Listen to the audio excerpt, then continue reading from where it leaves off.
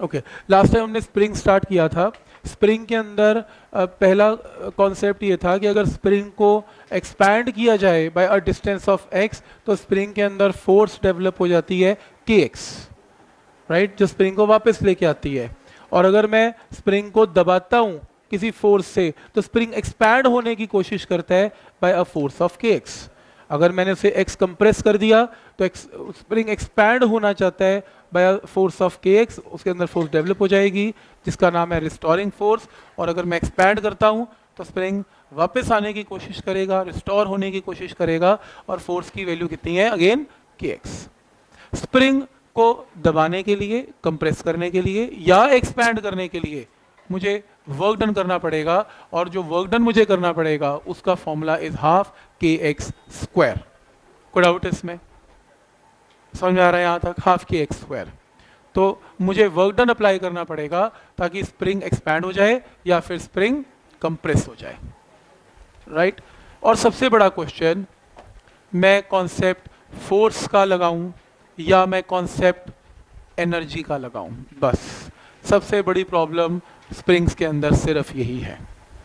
तो हम क्या करने वाले हैं? आज हम कुछ स्प्रिंग्स की प्रॉब्लम्स करेंगे। बहुत सारे लोगों ने बहुत सारे क्वेश्चन पूछे दूसरे बैच में तो मुझे बहुत धीरे चलना पड़ा। तो आपके बैच में धीरे चलूँगा। अब मैंने ये सोल्यूशन सोचा है कि जो स्प्रिंग्स का आज का लेक्चर जो रह गए, हमारे आधा, आधी शीट होगी, आज आधी नहीं होगी। तो मैं आज पूरी की पूरी स्प्रिंग्स के सोल्यूशन मतलब एक वीडियो आज अपलोड करने वाला हूँ। आपको वो पूरा वीडियो देख के आना है अगली बार। मतलब क्योंकि स्प्रिंग का कॉन्सेप्ट नया है आपके लिए। तो लाइव एक बार सोचना, फिर क्वेश्चन बनाना, फिर क्वेश्चन पूछना, कई बार डिस्टर्बिंग हो सकता है। तो आप पूरा लेक्चर पूरा असाइनमेंट करके आएँगे स्प्रिंग की अगली बार। यहाँ आके सिर्फ़ आपकी रिवीजन होगी। एक तो उससे हमारी स्पीड बनेगी और दूसरा आपके पास घर से ही सोचने के लिए क्वेश्चंस होंगे कि ये क्वेश्चन या इस टाइप की प्रॉब्लम में ये डाउट आएगा मुझे। तो आप सीधा मुझसे डाउट पूछ सकते हैं। ठीक दो लेक्चर ऐसे चलेंगे, एक स्प्रिंग का और एक चेन का। ये दोनों एक कैटेगरी के टॉपिक्स हैं और चेन की असाइनमेंट आज मैं आपको दूँगा। आपको नेक्स्ट टाइम सिर्फ़ स्प्रिंग सुन के आना है बस, एक लेक्चर और अगली बार आपको चेन्स का लेक्चर सुन के आना है। मतलब मैं आपको लेक्चर देने से पहले लेक्चर सुनाना चाहता हूँ, क्योंकि ये दोनों बहुत टिपिकल और बहुत इंपॉर्टेंट लेक्चर्स हैं। और सिर्फ़ यही नहीं सेंटर ऑफ़ मास तक सिंपल हार्मोनिक मोशन तक भी ये स्प्रिंग्स और चेन्स आपको हेल्प करेंगे। ठीक है इसलिए ताकि थोड़ा और प्रैक्टिस हो जाए आपकी। तो क्लास में तो लाइव चलेगा ही चलेगा, ऐसी बात बस ये है कि दो बार हो जाएगा, मैं चाहता हूँ ये टॉपिक दो बार हो एटलीस्ट तो स्प्रिंग्स के अंदर हमने जो अभी लास्ट टाइम किया था, मेरे ख्याल से वो असाइनमेंट के तीन क्वेश्चन पहले किए थे शायद। तीन किए थे चेक करो। जो हैंड रिटन असाइनमेंट है आपकी स्प्रिंग्स की। तीन किए ना? ओके हमने यहाँ से करना है क्वेश्चन नंबर फोर्थ से करना है। हमें क्या गिवन है कि सपोज़ ये आपके पास एक स्प्रिंग है। ये स्प्रिंग नेचुरल लेंथ पे राइट मैंने क्या किया, यहाँ पर एक मास इसके साथ बाँध दिया, एक स्टोन या कोई पत्थर बाँध दिया टाइट कर दिया राइट एम बाँध दिया।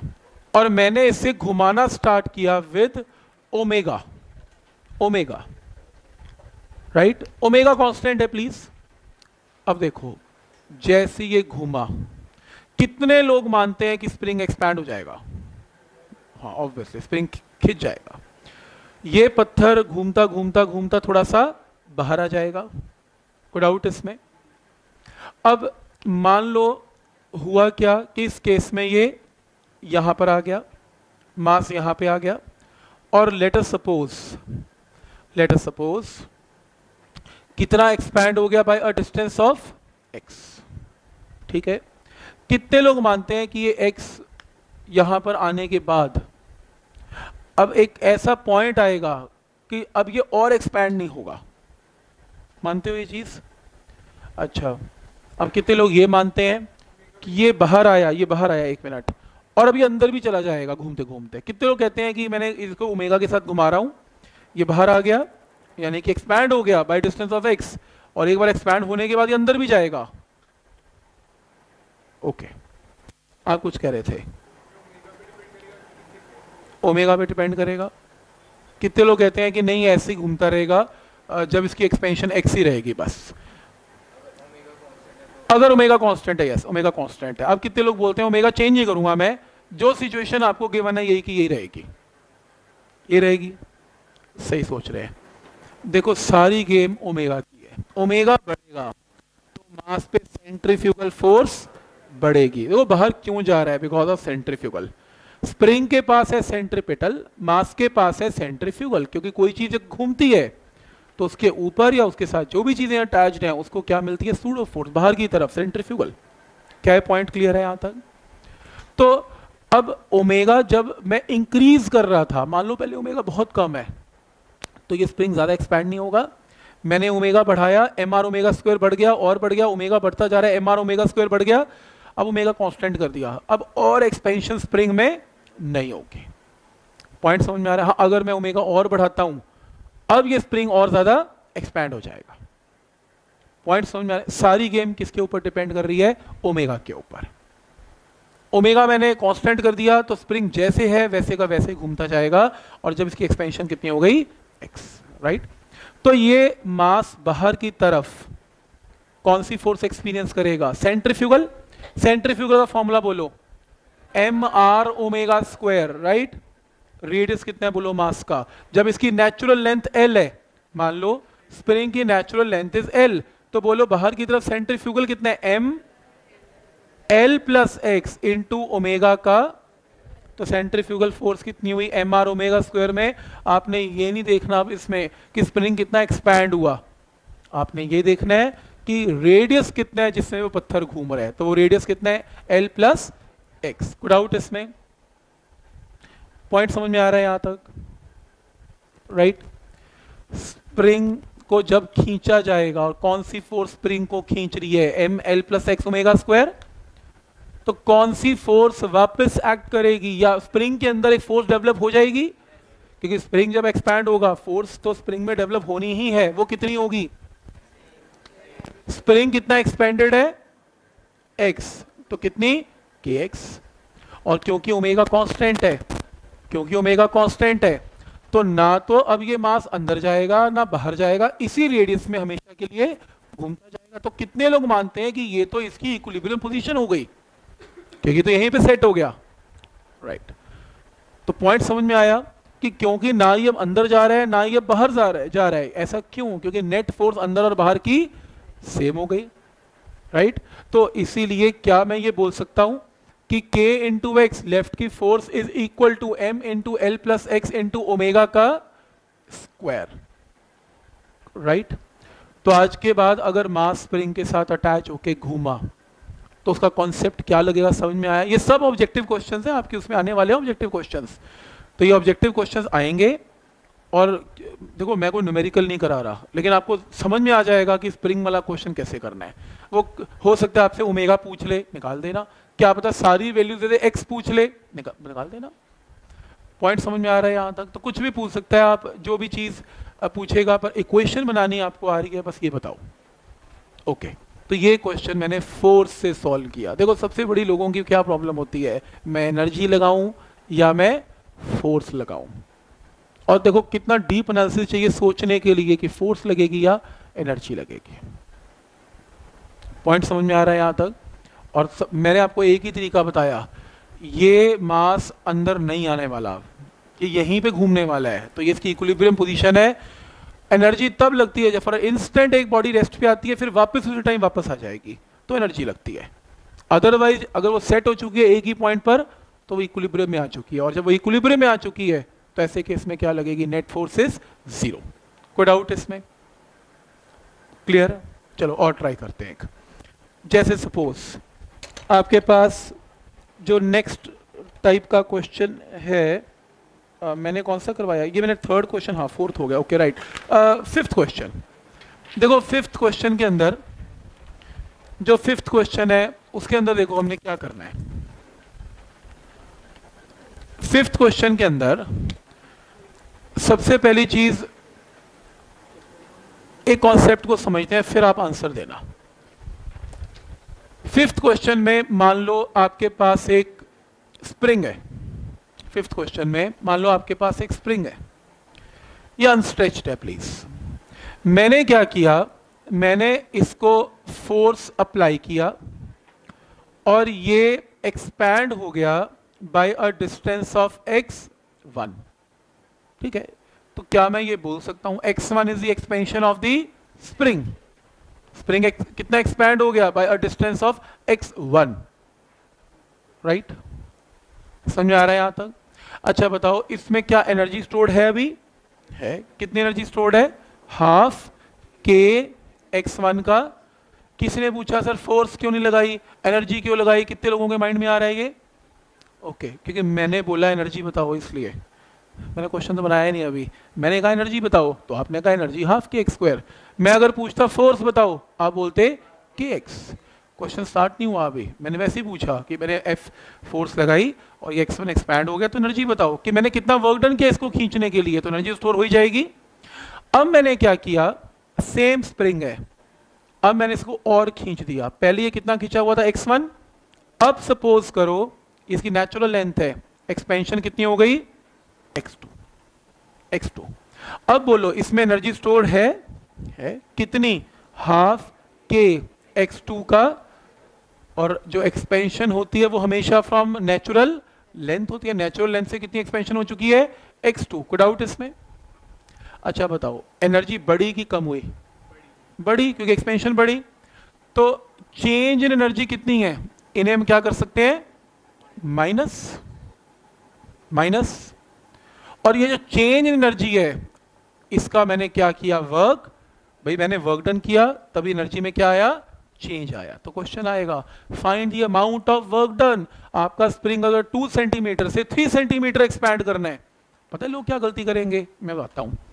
उनको गिवन होगा इनिशियल एक्सपेंशन इज़ दो फाइनल मतलब x one final expansion is तीन, ये लो। वो कहेंगे net expansion is x two minus x one one फिर वो कहेंगे work done is equal to half k one का स्क्वायर कॉमन मिस्टेक है। बहुत, जो है माइनर डिफरेंस है दोनों की कैलकुलेशन में। काफ़ी लोगों को ऐसा लगता है कि दो से तीन हुआ तो नेट एक्सपेंशन तो एक हो गई। एक का मतलब हाफ़ के एक्स स्क्वायर कोई प्रॉब्लम नहीं है। लेकिन ये गलत है, क्योंकि एक्चुअल में होना चाहिए हाफ़ के टू का स्क्वायर हाफ़ के तीन का स्क्वायर और जब वर्क डन कैलकुलेट होगा हाफ़ के तीन का स्क्वायर माइनस हाफ़ के देखो, दोनों में आंसर में फ़र्क नहीं आ गया? फ़र्क आएगा। ये बहुत कॉमन मिस्टेक है। समझ में आ रहा है यहाँ तक? तो नोट करना है इसी के आगे नोट करो प्लीज़ ये पॉइंट कहीं भी नोट कर लो एक मिनट के लिए प्लीज़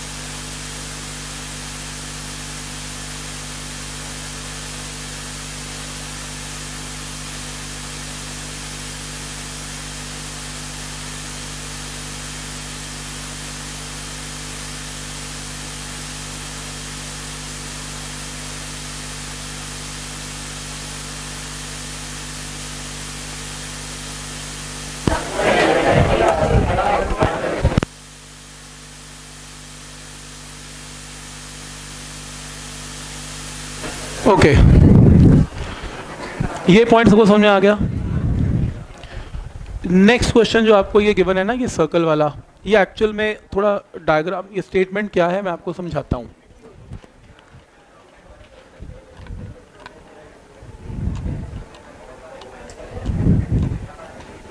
देखो, ध्यान से देखो।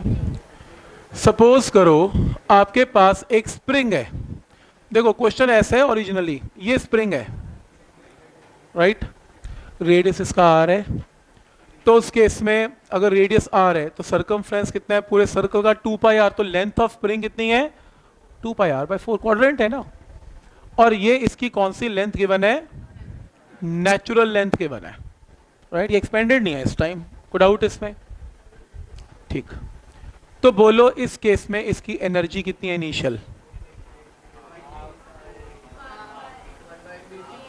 energy half k into spring की एक्सपेंशन जो कि कितनी है?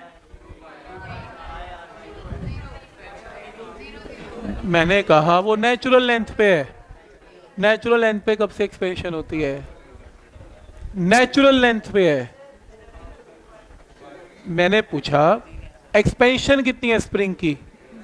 ज़ीरो क्या मैंने स्प्रिंग को खींचा? नहीं खींचा। ये अपनी असली लेंथ पे है? असली लेंथ पे है। तो मैंने नहीं खींचाना तो एक्सपेंशन कितनी है? ज़ीरो तो अगर एक्सपेंशन ज़ीरो तो एनर्जी कहाँ से आ गई? एनर्जी क्या होती है? हाफ़ के एक्सपेंशन इनिशियल कितनी है? ज़ीरो तो एक्स वन का ज़ीरो इसमें एनर्जी स्टोर ही नहीं है। खींचोगे तो तो एनर्जी आएगी। खींचोगे नहीं तो एनर्जी कहाँ से आएगी? कोई डाउट ठीक। अब मैंने क्या किया कि ये पॉइंट समझा गया ना समझ? कैसे किया? ओके अब मैंने क्या किया? इसको यही बाँध रखा है। मैंने इसे खींच के बड़ा कर दिया। खींच दिया यहाँ तक खींच दिया। टोटल लेंथ कितनी है इसमें? टू पाई आर और अब ये कितनी हो गई? थ्री फोर्थ इसकी लेंथ स्प्रिंग की कितनी हो गई? थ्री फोर्थ नई लेंथ आ गई। कोई बताएगा कि अब इसमें एक्सपेंशन कितनी है? कितने लोग बोलते हैं यही इसकी एक्सपेंशन है? कितने लोग बोलते हैं कि ये लेंथ में से पुरानी लेंथ को माइनस करो तो एक्सपेंशन है राइट तो three by four into two pi r minus one by four into two pi r right क्या आ गई? एक्सपेंशन राइट स्प्रिंग एक्सपैंड हो गया। स्प्रिंग में क्या आ गई? एनर्जी कितनी एनर्जी आ गई? एनर्जी की वैल्यू आ गई हाफ़ के एक्स टू का स्क्वायर तो final energy is half k three by four two pi r का square minus half k one by four two pi r का स्क्वायर क्या पॉइंट क्लियर है? ये क्या आ गई? फाइनल एनर्जी आ गई. स्टेप समझ में आ रहा मतलब आ, इसमें नहीं रादर मैंने स्क्वायर स्क्वायर नहीं करना चाहिए मुझे. मुझे करना चाहिए ये x2 एक्सपेंशन है। X2 का होल स्क्वायर मुझे करना चाहिए कुछ ऐसे। हाफ़ के x2 की जगह पूरे का पूरा पुट करना चाहिए three by four two pi r one by four two pi r x two का whole square right x two की जगह वैल्यू पुट करूँगा ना पूरी की पूरी अलग अलग स्क्वायर क्यों करूँगा? क्या ये पॉइंट क्लियर है यहाँ तक? और क्वेश्चन है कि बताओ मैंने कितना वर्क डन किया? वर्क डन कितना किया? Final energy minus initial energy तो इस एनर्जी में से उस एनर्जी को क्या कर देंगे? माइनस हमारे पास आंसर आ जाएगा। कोई डाउट इसमें? तो मेरे पास क्या आंसर आ गया? हाफ़ के इसे अगर माइनस करें तो थ्री बाय फोर और वन बाय फोर माइनस होगा तो क्या जाएगा? वन बाय टू तो इस केस में one by two into two pi r का होल स्क्वायर आंसर। क्या ये पॉइंट क्लियर है? कोई डाउट इसमें मैंने अपनी असाइनमेंट के अंदर ही शॉर्टकट लगाया हुआ है तो मैंने इसलिए ठीक तरह डिस्कस किया, जब मैंने वो पिछले बैच में किया तो उसमें थोड़ी कन्फ्यूज़न हुई कि ऐसे किए, कैसे किया आपने, वो तो इस तरीके से नहीं किया, अपने असाइनमेंट के अंदर सोल्यूशन नहीं है मेरा। एक्चुअली क्या प्रॉब्लम थी? इसमें इनिशियल एनर्जी ही ज़ीरो थी इनिशियल एक्सपेंशन ज़ीरो थी। इनिशियल एक्सपेंशन ज़ीरो होने की वजह से इनिशियल एनर्जी काउंट नहीं हुई ज़ीरो हुई। और फाइनल एनर्जी में मैंने क्या निकाला? एक्सपेंशन निकाल दिया। तो मैंने अपनी असाइनमेंट में सीधा एक्सपेंशन निकाल दी। और half into k into x square से क्या आ गई? एनर्जी आ गई। पॉइंट समझ आया यहाँ तक? तो बेसिकली इसके अंदर क्या हुआ? बेसिकली मैंने इसमें जो जो शॉर्टकट लगाया, वो मैंने सीधा लिख दिया हाफ़ के एक्स स्क्वायर क्यों? क्योंकि मैंने तो फाइनल एनर्जी निकाल दी इनिशियल एनर्जी की वैल्यू ज़ीरो थी। बट कायदे से रूल वाइज ये एब्सोल्युटली करेक्ट है।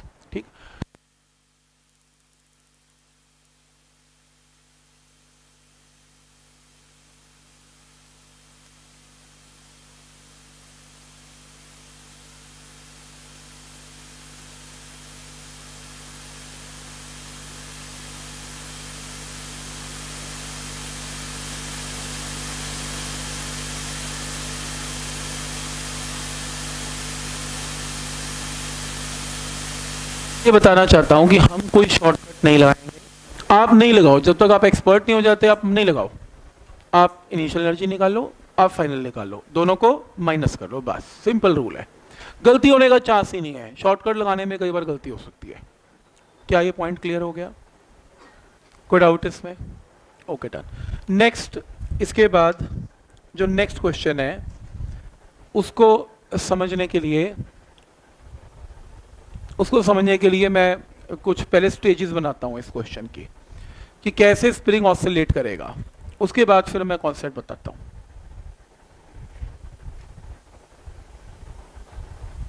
करें स्टार्ट देखो नेक्स्ट क्वेश्चन के अंदर पहले इमेजिन करो एक मिनट के लिए कि आपके पास ना ये स्प्रिंग है, ये रहा स्प्रिंग और यहाँ पर दो मासेस अटैच्ड है।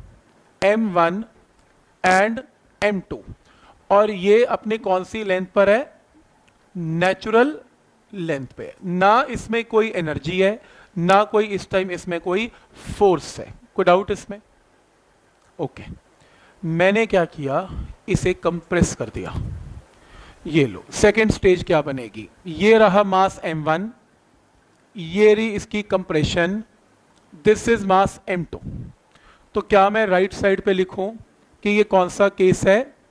कंप्रेशन का केस है। ठीक है यहाँ तक? तो कौन सा केस है? कंप्रेशन का केस है। कोई डाउट इसमें?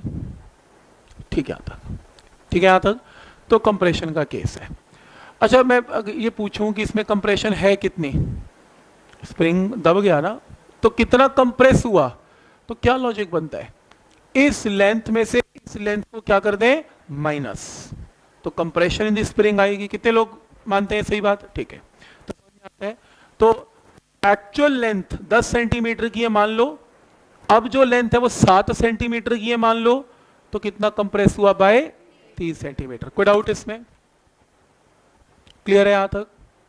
ओके तो क्या इसमें एनर्जी स्टोर होगी? होगी। चाहे कंप्रेशन हो, चाहे एक्सपेंशन हो। एनर्जी तो स्टोर होगी। फोर्स इसमें लगेगी लगेगी। कंप्रेस अपने आप थोड़ा हो जाता है। आपको क्या करनी पड़ती है? फोर्स लगानी पड़ती है। कोई डाउट इसमें? ओके ये भी सही है। जब आपने यहाँ पर फोर्स लगाई, दबाया इसे तो ये दोनों ब्लॉक्स के ऊपर स्प्रिंग कैसी फोर्स लगाएगा? आउटवर्ड लगाएगा? आपने इसे, देखो, ये अपने आप नहीं है, मेरे हाथ लग रहे हैं यहाँ पे। मैंने आज ऐसे फोर्स लगाई, दबाया, और जब मैं दबा के रखा हुआ है तो स्प्रिंग की जो फोर्स है, वो मेरी दबाने की फोर्स के कैसे होगी? ऑपोजिट तो अगर मैं इसको ऐसे दबा रहा हूँ ब्लॉक्स को तो स्प्रिंग की फोर्स ऐसी होगी। खुलना चाहता है ना स्प्रिंग क्योंकि स्प्रिंग हमेशा क्या करना चाहेगा? रिस्टोर होने की कोशिश करेगा। और स्प्रिंग की फोर्स को तभी तो क्या बोलते हैं? रिस्टोरिंग फोर्स कोई डाउट इसमें? हाँ। मतलब अगर मान लो कंप्रेशन कितनी है? एक्स और मैं ये मान रहा हूँ आ, कि आपको कंप्रेशन निकालना आ गया। कैसे आ गया? इस लेंथ में से इस लेंथ को क्या कर देना है? माइनस तो मान लो एक्स आ गया। ठीक? तो स्प्रिंग की फोर्स यहाँ पर क्या होगी? के इंटू एक्स और के इंटू एक्स इस तरफ़ इस तरफ़ क्योंकि स्प्रिंग चाहेगा ये इधर जाए स्प्रिंग चाहेगा वो इधर आए। अब कई लोग लेक्चर के बाद पूछ रहे थे सर ऐसा होता है कि 10 न्यूटन की फोर्स है पाँच इसको मिली पाँच इसको मिली इसका मतलब ये हुआ बिल्कुल भी नहीं हुआ। ये स्प्रिंग की फोर्स स्प्रिंग के अंदर बिल्कुल वैसी काम करती है। जैसे कि एक स्ट्रिंग में, रस्सी में टेंशन काम करती है। टेंशन क्या होती है? इक्वल एंड ऑपोजिट रादर कभी कभी तो ऐसा होता है, आपको स्प्रिंग की प्रॉब्लम में वो आपको कहेगा find tension in the spring अब टेंशन टेंशन कहाँ से आ गई? टेंशन के एक्स ही। टेंशन है तो स्प्रिंग के अंदर जो फोर्स स्टोर्ड है, वही उसकी टेंशन है। क्या पॉइंट क्लियर है? और टेंशन हमेशा कैसे ऐड करती है? इक्वल एंड ऑपोजिट कोई डाउट इसमें? पॉइंट समझ में आ रहा है? तो ये दो वेक्टर दो क्यों बने? एक क्यों नहीं बना समझ में आया? क्योंकि ये एक ब्लॉक पे भी लगेगा और यही फोर्स दूसरी पे भी लगेगी। और आधी आधी बिल्कुल नहीं लगेगी। जितनी इस पे लगेगी, उतनी इस पे लगेगी। कोई डाउट इसमें? तो जब मैं इसे छोड़ूँगा तो इतनी इतनी फोर्सेस दोनों ब्लॉक्स पे ऐड कर रही हैं। ये लो मैंने छोड़ दिया। जब मैंने छोड़ा तो मुझे बताओ कि M1 कहाँ आएगा?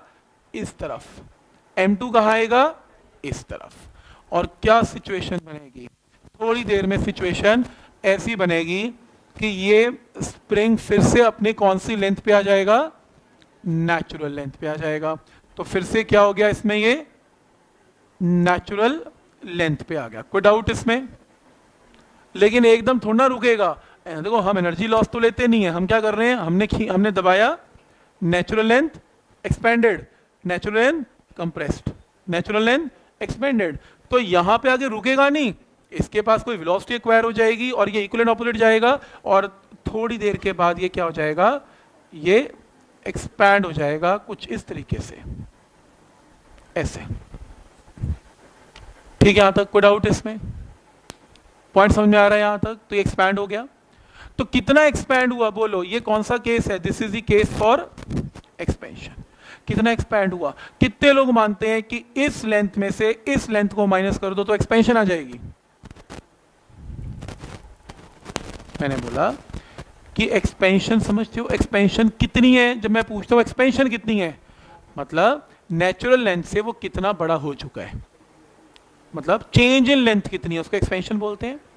तो कितने लोग ये मानते हैं कि एक्सपेंशन इस केस में इज़ नई लेंथ ये वाली लेंथ में से नेचुरल लेंथ को माइनस कर देंगे तो स्प्रिंग की एक्सपेंशन आ जाएगी। आ जाएगी। मतलब कि नेचुरल लेंथ तो 10 सेंटीमीटर थी, अब स्प्रिंग की लेंथ मान लो 15 सेंटीमीटर हो गई तो एक्सपेंशन 5 सेंटीमीटर है। कितने लोग ये मानते हैं? ओके तो एक्सपेंशन कैलकुलेशन समझ में आ गई। तो निकाल नहीं रहा बट अगर मैं कहूँ कि इसमें एक्सपेंशन x2 है that is this length minus this length तो मैंने इसको यहाँ खींचा या अपने आप यहाँ तक आया, अब जब छोड़ूँगा तो क्या होगा? ये मासेस वापस, क्यों वापस जाएँगे? क्योंकि स्प्रिंग के अंदर कौन सी फोर्स डेवलप हो चुकी है? रिस्टोरिंग फोर्स कितनी? K into x two and k into ये के एक्स टू चाहेगा, ये इधर आए, ये के एक्स टू चाहेगा चाहे मासेस अनइक्वल है तो भी फोर्सेस कभी अनइक्वल नहीं होती इक्वल एंड ऑपोजिट होती है। क्या ये पॉइंट समझ में आ रहा है? तो प्लीज़ दो मिनट डायग्राम ड्रॉ कर सकते हो इन स्टेचेस का।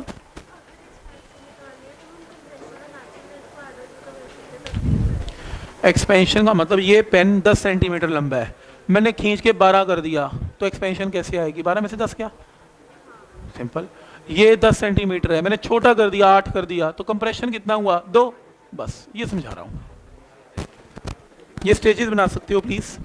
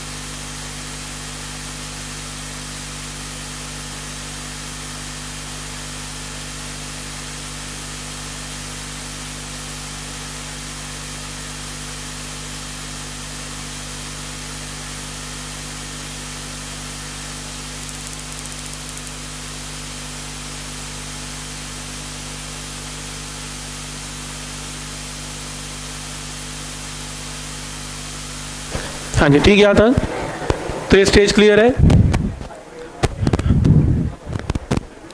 तो कंप्रेशन है एक्सपेंशन है, और अगर एनर्जी लॉस नहीं होगा ना तो ये ऐसे ही मूव करता रहेगा। एक्सपेंशन है नेचुरल लेंथ है। कंप्रेशन है नेचुरल लेंथ है। एक्सपेंशन है नेचुरल लेंथ है। लॉस तो है नहीं। तो एनर्जी कहाँ जाएगी? बस इसी में घूमती रहेगी। तो हमेशा के लिए स्प्रिंग मूव करता रहेगा। पर प्रैक्टिकली नहीं, कोई मैंने कहा एनर्जी लॉस है ही नहीं। फ्रिक्शन की बात ही नहीं। कुछ नहीं है दुनिया में, बस यही है। तो न्यूटन का लॉ बोलता है कि जब तक तो रोकोगे नहीं, तब तक ये कभी रुकेगा भी नहीं। तो अपोजिंग फोर्स तो चाहिए होगी रोकने के लिए, और अगर अपोजिंग फोर्स नहीं है तो जैसे पेंडुलम हमेशा मूव करता रहता है, ऐसे ये भी हमेशा मूव करता रहेगा। ठीक है यहाँ तक? राइट? और एक स्टूडेंट ये भी पूछ रहा था कि अगर मान लो स्प्रिंग बहुत हार्ड हुआ तो लोहे का स्प्रिंग है, बहुत हार्ड है, मोटा स्प्रिंग है, हिले भी न तो तो फिर ऐसे क्वेश्चन बनाने का फ़ायदा ही क्या जिसको मूव ही नहीं करना? तो प्लीज़ इतना इलास्टिक लो कि वो प्लीज़ कंप्रेस भी हो और एक्सपैंड भी हो।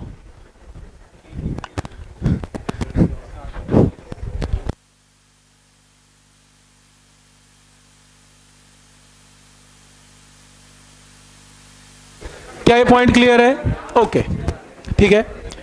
तो अभी कॉन्सेप्ट ये है, ध्यान से देखो प्लीज़ जो मैं अब ये समझाना चाहता हूँ देखो, ध्यान से देखना प्लीज़ किसी भी इंस्टेंट पर नोट करना। फ्री बॉडी डायग्राम से अगर मैं बात करूँ एक मिनट के लिए फ्री बॉडी डायग्राम से, कि सपोज़ करो, मैं यहाँ पर, आगे प्लीज़ ध्यान आगे। मान लो, ये यहाँ तक आया एक्सपैंड हुआ, अब ये कहाँ जाएगा? वापस जाएगा। अच्छा बताओ M1 को कौन वापस लेके आ रहा है? अच्छा बताओ M2 को कौन वापस लेके आ रहा है? राइट राइट अच्छा फिर कितने लोग ये मानते हैं कि जो के एक्स है, उसमें ये एक्स टू हर इंस्टेंट पर कम हो रही होगी चेंज हो रही होगी। एक्स टू तो हमेशा बराबर नहीं रहेगी। एक्स टू चेंज होगा कि नहीं होगा? नहीं बता अच्छा होगा। अगर स्प्रिंग 10 सेंटीमीटर लंबा था, अभी 12 है। कितना एक्सपेंडेड है? 2 एक्स टू कितने है? 2 चलो स्प्रिंग को आने दो वापस। 12 11 11 में से 10 क्या? एक्सपेंशन कितनी रह गई? एक। फिर उसके बाद 10.5 रह गया। स्प्रिंग के लिए 10.5 अब 10.5 माइनस टेन इज़ 0.5 और फिर टेन हो गया। एक्स टू इज़ ज़ीरो यार चेंज इन लेंथ का मतलब समझते हो? कि नई लेंथ और ओरिजिनल लेंथ का डिफरेंस तो चेंज ही हो रहा है। जैसे स्प्रिंग छोटा होता जा रहा है एक्सपेंशन कम होती जा रही है, क्या ये पॉइंट क्लियर है? कोई डाउट इसमें? ओके तो कितने लोग अब मानते हैं कि ये फोर्स चेंज हो रही होगी? एक्स टू चेंज हो रहा है तो फोर्स भी तो चेंज ही हो रही होगी राइट right? तो ये फोर्स चेंज हो रही है। और जब फोर्स चेंज हो रही है तो दोनों ब्लॉक्स की आने की एक्सलेशन भी चेंज हो रही होगी।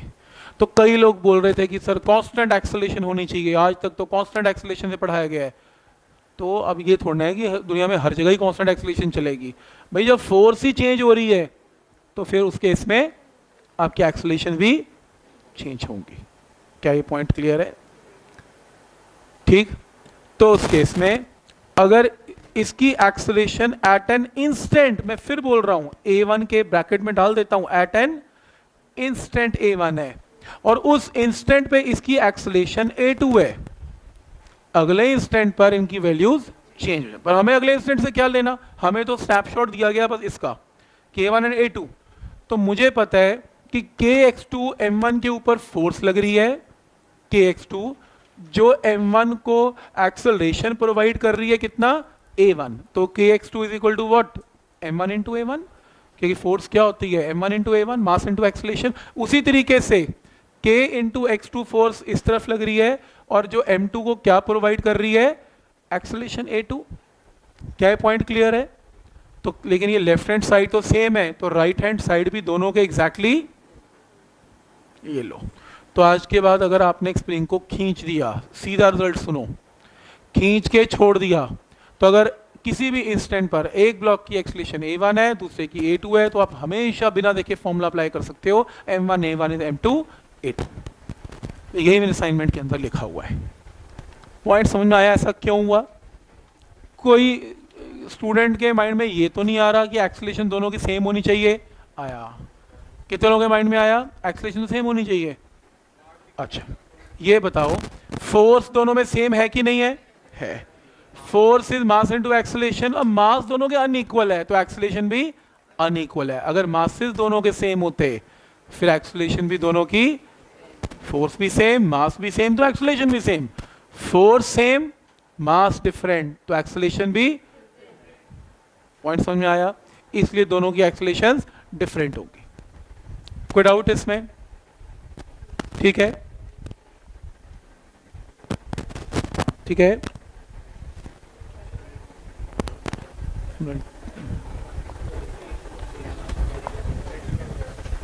हर इंस्टेंट पर ये फॉर्मूला अगले इंस्टेंट में ए वन चेंज होगा तो ए टू भी चेंज हो जाएगा। पर इनका product mass and acceleration will remain same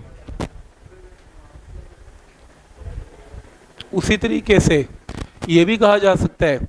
acceleration अगर चेंज हो रही है तो कितने लोग मानते हैं दोनों ब्लॉक्स की वेलोसिटीज भी चेंज हो रही है हर इंस्टेंट पे? बिल्कुल सही। यार, अगर एक्सलेशन कांस्टेंट भी होती तो भी तो वेलोसिटी चेंज ही हो रही होती। एक्सलेशन होने का मतलब ही इटसेल्फ ये है, क्या? कि वेलोसिटी तो किसी भी इंस्टेंट पर अगर m1 की वेलोसिटी v1 है तो m2 की वेलोसिटी तो ये फॉर्मूला भी हमेशा वैलिड है। लिख लो। लिखा हुआ मेरे ख्याल से? तो कई बार क्वेश्चन में गिवन होता है कि एक ब्लॉक की वेलोसिटी अगर v1 है तो दूसरे ब्लॉक की उस इंस्टेंट पे वेलोसिटी बोलो क्या होगी? M1 v1 इन m2 v2 राधिका तनिष्क। राधिका।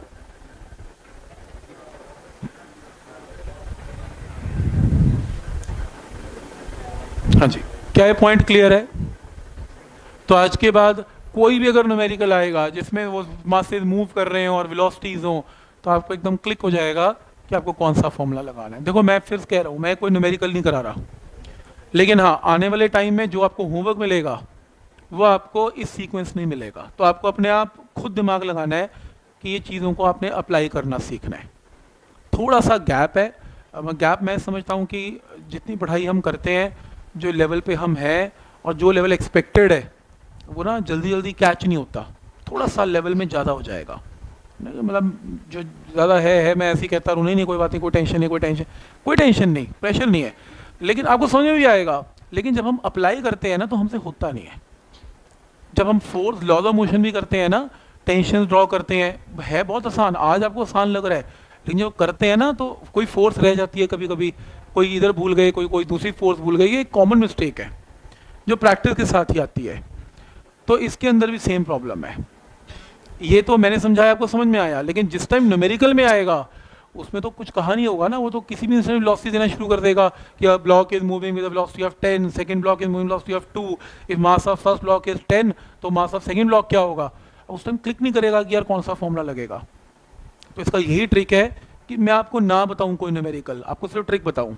और आप न्यूमेरिकल जब आपको रास्ते में आए, आप न्यूमेरिकल को खुद से सॉल्व करें। तब कॉन्फिडेंस आएगा कि मुझे आता है। राइट पॉइंट समझ में आ रहा है यहाँ तक? तो अभी नेक्स्ट एक बार करते हैं। नेक्स्ट जो आपका टॉपिक है, या सॉरी जो क्वेश्चन है सेवंथ क्वेश्चन है आपका प्लीज़ सेवंथ ओपन कर सकते हैं। देखो।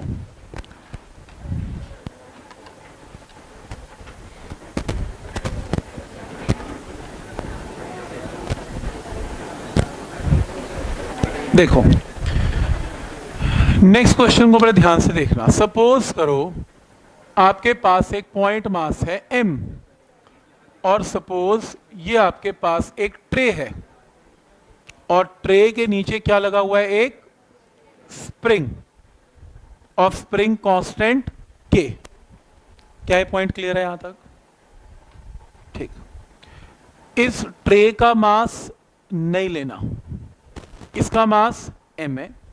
स्प्रिंग का मास हम ऐसे नहीं लेते के कुछ नहीं है। ठीक? मैंने क्या किया? मैंने इस मास को ड्रॉप किया। और मान लो ये मास किसका बना हुआ है? गीली मिट्टी है एकदम। सचदार जब ट्रे को हिट करेगी ये चिपक जाएगी इसके साथ। अब बाउंस कैसे करेगी? बॉल होगी तो बाउंस करेगी। बस ये आई चिपक चिपक गई। चिपकने के बाद स्टिक करने के बाद ये ट्रे थोड़ी सी नीचे जाए। ये लो फाइनल सिचुएशन ट्रे नीचे आ गई। स्प्रिंग क्या हो गया? कंप्रेस क्या है पॉइंट क्लियर है प्रांशु स्प्रिंग क्या हो गया? कंप्रेस ठीक? स्प्रिंग कंप्रेस हुआ। मास ये रहा मास ये रहा मास स्प्रिंग कितना कंप्रेस हुआ? स्प्रिंग कंप्रेस हुआ बाय अ डिस्टेंस ऑफ़ मान लो एक्स मैक्स ठीक है? स्प्रिंग कंप्रेस हो गया by distance of x max ठीक है यहाँ तक? कितने लोग एग्री करते हैं कि ये जब कंप्रेस होगा, अब ये ट्रे ऊपर भी जाएगी। अच्छा। चिपक गया मास तो? नहीं नहीं, इतना भी मास नहीं है यार, थोड़ा कम मास है कि स्प्रिंग प्लीज़ किसी भी एग्जांपल में इतना बुरा एग्जांपल नहीं लेना कि इतना बड़ा मास है कि मतलब एक, फिर तो तोड़ ही देगा सिस्टम को यार। फिर स्प्रिंग की क्या हिम्मत है? उठे, फिर तो वो दबी जाएगा, फिर तो गेम ही खत्म हो गई। तो इतना लोग ही वो ऊपर नीचे आए। अब बताओ, कितने लोग ये मानते हैं कि ये एक्स मैक्स पे इक्विलिब्रियम पोजीशन पे आ जाएगी ट्रे? इक्विलिब्रियम पोजीशन पे आ जाएगी। मतलब आपको लगता है, अब ये जब पहली बार नीचे जाएगा, ये हमेशा के लिए रुका नहीं रहेगा। मतलब आपको लगता है कि एक बार तो नीचे काफ़ी चला जाएगा, फिर ये ऊपर आएगा, फिर ऊपर करके थोड़ा सा ऊपर आके रुकेगा। कितने लोग एग्री करते हैं? ऊपर आके रुकेगा, वहीं नहीं रुकेगा। एक बार तो नीचे जाएगा मानते इस चीज़ को। तो एक बार तो ज़्यादा जाएगा। फिर ऊपर नीचे करके थोड़ा ऊपर रुकेगा। यानी कि एक बात तो पक्की है, इस पॉइंट पर ये ट्रे फॉर एन इंस्टेंट तो रेस्ट पे आ सकती है, लेकिन उसके बाद ये वापस आएगी। और अगर ये वापस आएगी, इसमें फोर्स का कॉन्सेप्ट नहीं लग सकता।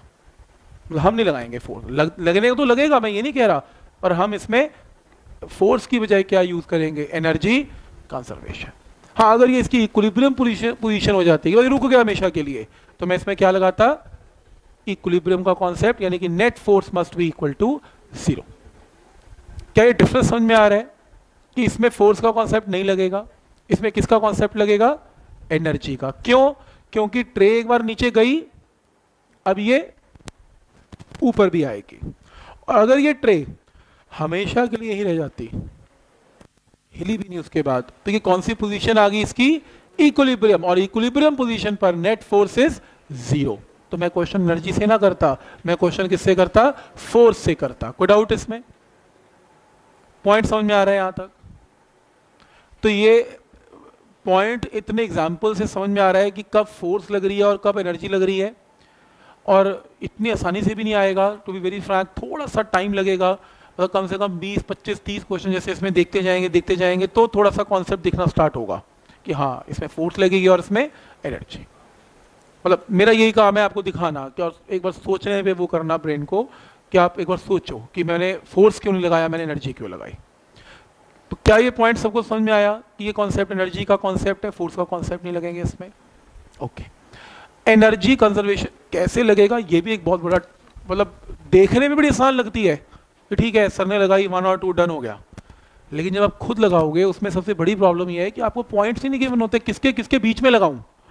तो ये भी एक बहुत बड़ा चैलेंज होता है इस, इन पंद्रह बीस दिनों का, जिसमें एनर्जी कंजर्वेशन लगती कैसी है, ये आपको बहुत ध्यान से देखना होता है। तो एनर्जी कंजर्वेशन में जहाँ से ये मास गिरा था, यहाँ से स्टार्ट हुआ। और ट्रे कितनी दब गई थी? एक्स मैक्स मैं यही बना लेता हूँ प्लीज़ ये रे तो ट्रे कितनी नीचे आ चुकी है? एक्स मैक्स यहाँ पे फाइनल पोजीशन तो ये मास है। तो मैं एनर्जी कंजर्वेशन कितने लोग मानते हैं? वन और टू के बीच में लगाऊँगा। वन का मतलब उसकी जब वो चला था सिस्टम और टू का मतलब जहाँ फाइनली वो जहाँ मुझे एक्स मैक्स को निकालना है। देखो टू पॉइंट तो बिल्कुल ही क्लियर है।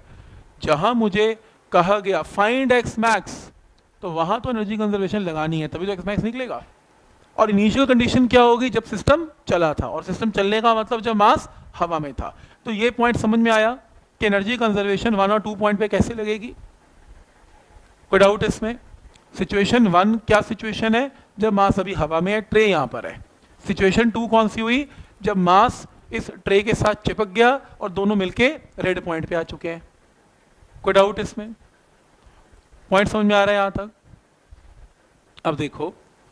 अब वन पॉइंट पर एंड टू पॉइंट पर हम एनर्जी कंजर्वेशन लगा रहे हैं। और जब मैं बोलता हूँ एनर्जी कंजर्वेशन तो आप कुछ अगर समझ में ना आए तो एक काम कर लिया करो। तीनों एनर्जी लिख लो पोटेंशियल स्प्रिंग एंड काइनेटिक उसी तरीके से gravitational potential spring and kinetic यही होता है एनर्जी कंजर्वेशन वन और टू पॉइंट पर तीनों का सम विल बी सेम आप खुद आंसर देना प्लीज़ सबसे पहले ग्रेविटी की एनर्जी ग्रेविटी की एनर्जी की एक और मुसीबत है। इसमें ग्राउंड ढूंढना पड़ता है। आप रेफरेंस क्या ले रहे हो? क्योंकि जब भी आप ग्रेविटेशनल पोटेंशियल एनर्जी लेते हो, सबसे पहले ये ढूंढते हो कि कहाँ से लू हाइट कोई कहता है, सर, यहाँ से लो हाइट क्योंकि ये ग्राउंड दिख रहा है मुझे। तो यहाँ से ले लो। कोई कहता है, सर, यहाँ से क्यों ले रहे हो? आपका क्वेश्चन तो यहाँ पे खत्म हो गया ना। उसके नीचे कहाँ गया सिस्टम आपको क्या लेना देना? तो आप अपना ग्राउंड यही लिया करो, जहाँ पर आपको कोई चीज़ निकालनी है। तो एक काम करो, हम इसको क्या ले लेते हैं? ग्राउंड पर मैं फिर कह रहा हूँ, आपकी मर्ज़ी है। अगर आप ग्राउंड को यहाँ लेना चाहो, आप ले लो। कोई फ़र्क नहीं है। आप सारे डिस्टेंस इसको लेके ले लेना। मैं सारे डिस्टेंस इसको ले लूँगा। कोई फ़र्क नहीं पड़ता। क्या ये पॉइंट क्लियर है यहाँ तक? ठीक है यहाँ तक। अब ग्रेवि ग्रेविटेशनल पोटेंशियल एनर्जी बोलो। ये मेरा ग्राउंड है। जब मास को रिलीज़ नहीं किया था तो मास किस पोजीशन पे था? At point one one point से इस ग्राउंड का डिस्टेंस कितना है? एम जी इंटू कितने लोग बोलते हैं एच प्लस एक्स मैक्स ये ग्राउंड है, ये बॉल है तो ये डिस्टेंस क्वेश्चन के अंदर ही गिवन है। ये कितनी हाइट से गिर रहे हैं? एच और फर्दर वो मास कितना नीचे आ गया? एक्स मैक्स तो कुल मिला के ग्राउंड से उसकी हाइट कितनी हुई? एच प्लस एक्स मैक्स क्या ये पॉइंट क्लियर है? तो इतनी एनर्जी उसकी कम होने वाली है ग्रेविटी की। तो लिख देते हैं, यहाँ पर एनर्जी कितनी थी? M g into h plus x max क्या ये पॉइंट क्लियर है? कोई डाउट इसमें? Right right. अब second energy second is spring energy बताओ, जब मास हवा में था तो स्प्रिंग क्या कंप्रेस था? स्प्रिंग कंप्रेस नहीं था। क्यों नहीं था? क्योंकि ट्रे का तो मास था ही नहीं। तो स्प्रिंग तो कंप्रेस नहीं था। और अगर स्प्रिंग कंप्रेस नहीं था तो ऑब्वियसली स्प्रिंग की एनर्जी ज़ीरो फ़र्स्ट पॉइंट पर कानेटिक एनर्जी क्या होगी बोलो? ज़ीरो क्यों? क्योंकि आपने उस मास को ड्रॉप करना है। वन पॉइंट पर उसको कोई वेलोसिटी तो देनी थी हमने तो इनिशियल एनर्जी ज़ीरो तो कानेटिक एनर्जी भी ज़ीरो कोई डाउट इसमें? पॉइंट समझ में आ रहा है यहाँ तक? Right situation number one clear अब एक काम करते जब बॉल यहाँ पर आ गई और रुक गई ट्रे फॉर एन इंस्टेंट मैंने फिर कहा, यहाँ पे हमेशा के लिए नहीं रुकी। फॉर एन इंस्टेंट फिर ऊपर जाएगी। ऊपर जब जाएगी जाएगी। फॉर एन इंस्टेंट रुक गई। तो यहाँ पर ग्रेविटी की एनर्जी पोटेंशियल क्या हो गई? वही तो मेरा ग्राउंड है ग्राउंड पे आके रुक गई मेरे हिसाब से तो। ठीक? स्प्रिंग एनर्जी स्प्रिंग कितना कंप्रेस हो चुका है?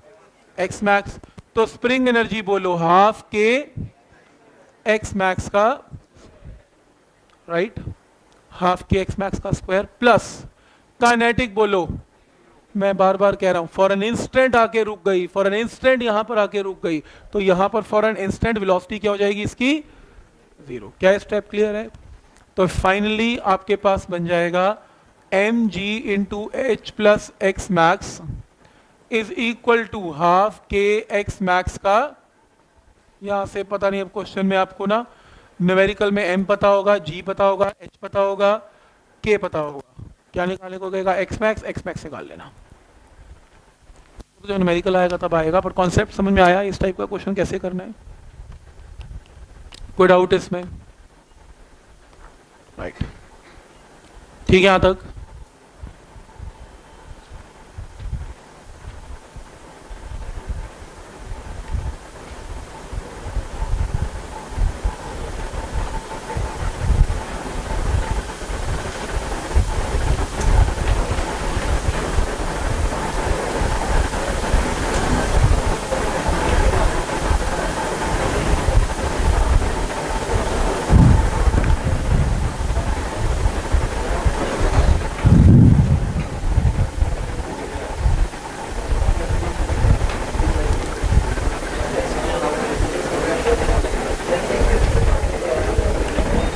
कराया नहीं मैंने लास्ट टाइम कराया था। फिर से। अच्छा। निकाल दो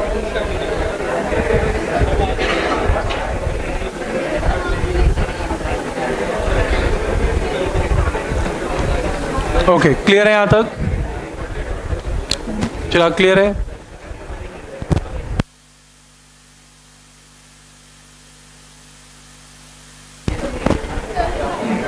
बोलो।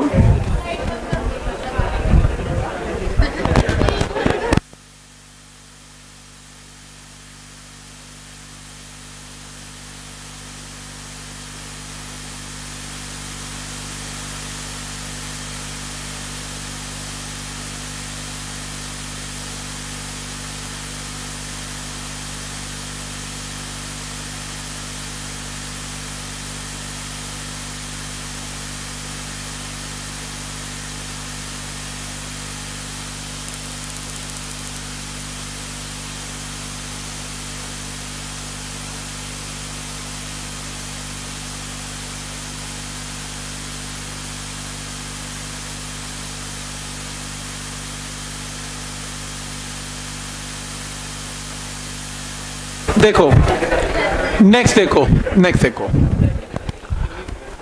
अब इसके बाद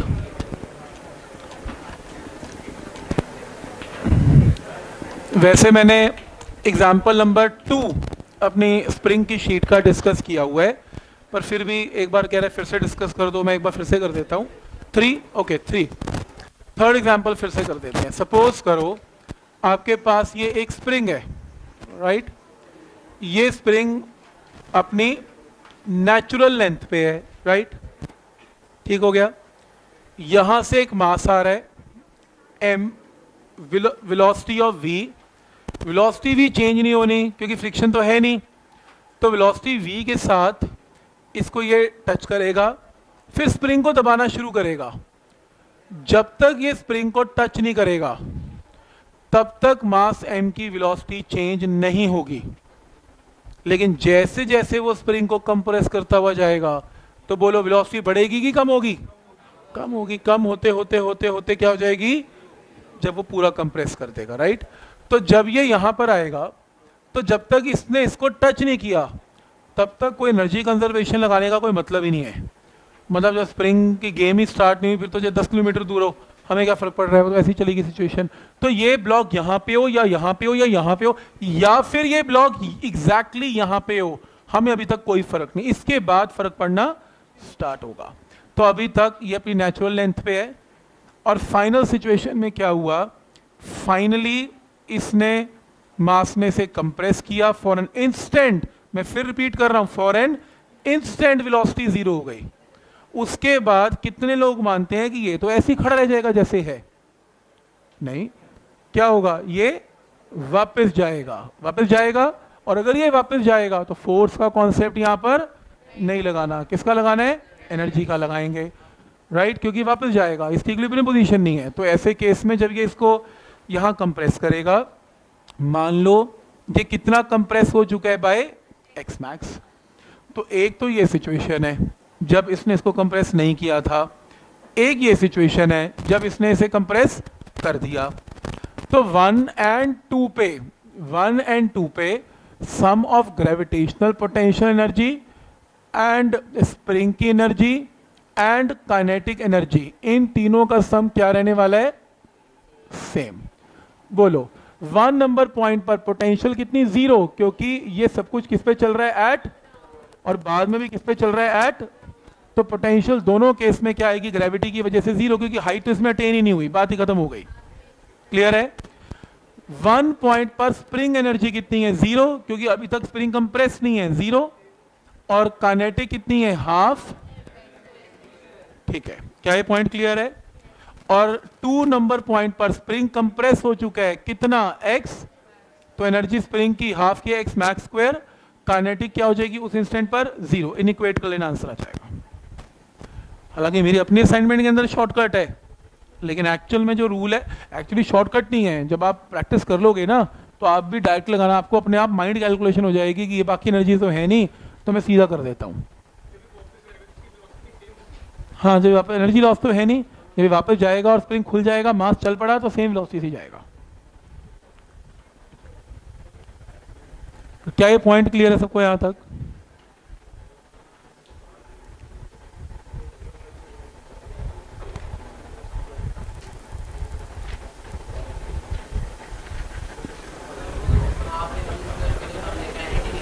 क्यों लिखा? वन पॉइंट पर? वन पॉइंट पर चलता हुआ आ रहा है ना? ना ना अच्छा अच्छा ओके ओके प्लीज़ एक मिनट एक कंफ्यूजन है. वो कह रहे हम तो सिर्फ़ स्प्रिंग की एनर्जी कंजर्व कर रहे हैं, नहीं. हम स्प्रिंग प्लस मास की टोटल एनर्जी कंजर्व कर रहे हैं. स्प्रिंग एंड मास की टोटल एनर्जी राइट स्प्रिंग की कानेटिक एनर्जी नहीं लेते, क्योंकि स्प्रिंग का मास नहीं होता. स्प्रिंग की सिर्फ़ स्प्रिंग एनर्जी ही लेते हैं. बात ही खत्म हो गई। स्प्रिंग की पोटेंशियल भी नहीं लेते एमजीएच वाली। क्यों? क्योंकि स्प्रिंग का मास नहीं लेते हम। तो ना तो उसकी ग्रेविटी की एनर्जी लेनी है, ना ही उसकी काइनेटिक लेनी है। उसकी सिर्फ़ स्प्रिंग का इफ़ेक्ट लेने हाफ़ के एक्स स्क्वायर समझ में आ रहा है यहाँ तक? ठीक? कोई डाउट इसमें? कैसे? जब इसने इसको दबा दिया यहाँ पे, इस सिचुएशन पे देखो, रुक गया। फॉर एन इंस्टेंट रुका तो कानेटिक कैसे आई। कभी तो रुकेगा ना? रुक गया, फिर चलेगा आगे। एक फॉर एन इंस्टेंट तो रुका ना? ठीक है ना? अब दबाता तो नहीं जाएगा ना? दबा, खत्म हो गया। हाँ एक पॉइंट पर रुक गया। तो ये वो पॉइंट है। कोई डाउट इसमें? पॉइंट समझ में आ रहा है सबको? अच्छा ठीक। अलग टाइप का क्वेश्चन करते हैं। Problem number eight eight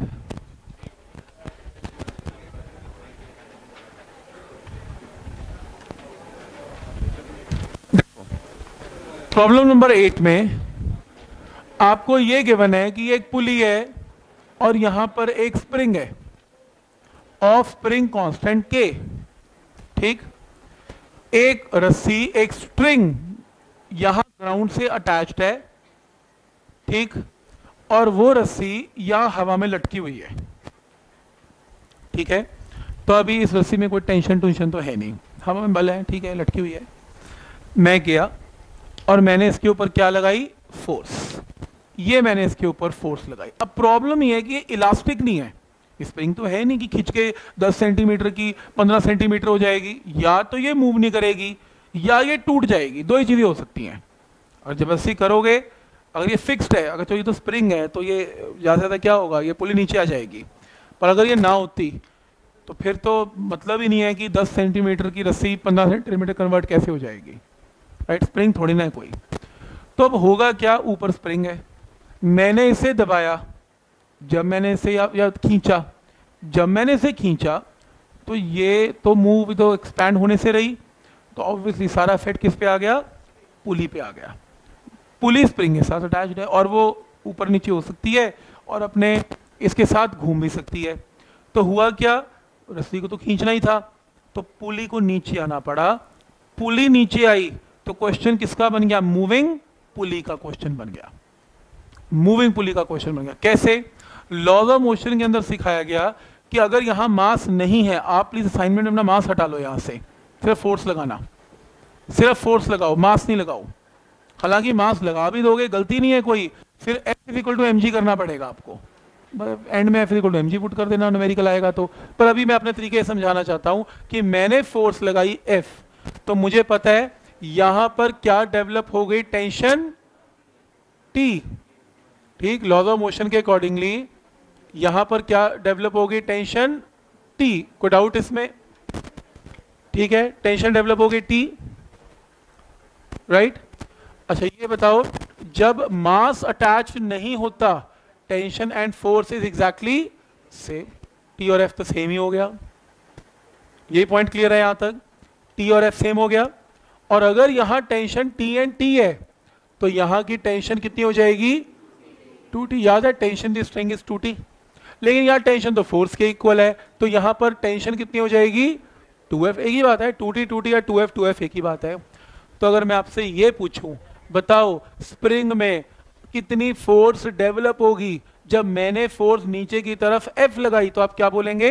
to F तो क्या मैं ऐसा लिख सकता हूँ कि यहाँ पर spring force is equal to two F spring की force is equal to two F कोई डाउट इसमें राइट right. तो स्प्रिंग की फोर्स कितनी आ गई टू एफ़ ठीक स्प्रिंग कांस्टेंट क्वेश्चन में गिवन है स्प्रिंग कांस्टेंट ऑब्वियसली इसमें क्या होगा के अच्छा ये बताओ मूविंग पुली का केस है अगर मैं इसे y नीचे खींचता हूँ तो ये डिस्प्लेस कितना हो जाएगा y बाई टू याद है क्यों क्योंकि मूविंग पुली में हम अगर यहाँ की एक्सलेशन ए लेते थे तो यहाँ की एक्सलेशन ए बाई टू और ऐसी अगर मान लो यहाँ पर वेलोसिटी v है तो v by two displacement y है तो y by two moving pulley के केस में हाफ़ हो जाता है, जहाँ टेंशन डबल होती है, वहाँ एक्सलेशन हाफ़ होती है। जहाँ डिस्प्लेसमेंट डबल है, या जहाँ टेंशन डबल है, वहाँ डिस्प्लेसमेंट भी हाफ़ हो जाएगी। तो इसीलिए अगर मैं ये पूछूँगा कि what is the expansion of spring तो एक्सपेंशन ऑफ़ स्प्रिंग आप क्या बोलेंगे इसमें? वाई नहीं बोलेंगे, क्या बोलेंगे? वाई बाई टू को डाउट इसमें। वाई नहीं, आपने वाई खींचा, पर पुली वाई नहीं आएगी। पुली घूम के कितनी आएगी? वाई बाई टू को डाउट इसमें। फिर आपको ये आपको ये पता है कि जो स्प्रिंग फोर्स होती है स्प्रिंग की कोई जो फोर्स होती है, वो के टाइम्स क्या होती है? स्प्रिंग की एक्सपेंशन जो स्प्रिंग की फोर्स है, वो कितने टाइम्स एक्सपेंशन होती है? के टाइम्स एक्सपेंशन कोई डाउट इसमें। पॉइंट समझ में आ रहा है यहाँ तक? स्प्रिंग की force F is equal to K X formula बोल रहा हूँ मैं। ऐसे होता है माइनस लगाना माइनस भी लगा लो, क्या दिक्कत है? पॉइंट समझ में आया यहाँ तक? तो स्प्रिंग की force equal to K time उसकी एक्सपेंशन बोलो। इस केस में स्प्रिंग की फोर्स कितनी है?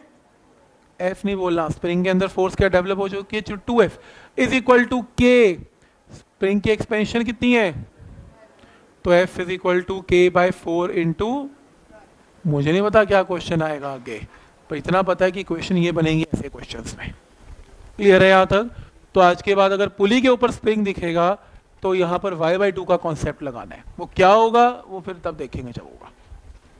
ठीक तो आपको स्टार्टिंग स्टार्टिंग पता लगेगी कि क्वेश्चन की स्टार्टिंग कहाँ से करनी है। नहीं तो आप टच भी नहीं कर पाओगे क्वेश्चंस को। क्या ये पॉइंट क्लियर है? लॉज ऑफ़ मोशन में किया था मूविंग पुली का केस जब पुली घूमती है और मूव करती है तो अगर एक्सलेशन ए है तो जहाँ टेंशन डबल होती है, हम एक्सलेशन ए बाई टू लेते हैं। उसी तरीके से अगर डिस्प्लेसमेंट वाई है तो वाई बाई टू हो जाएगी। ठीक लॉज ऑफ़ मोशन से रेफर किया है। ठीक है, यहाँ तक। कोई डाउट इसमें?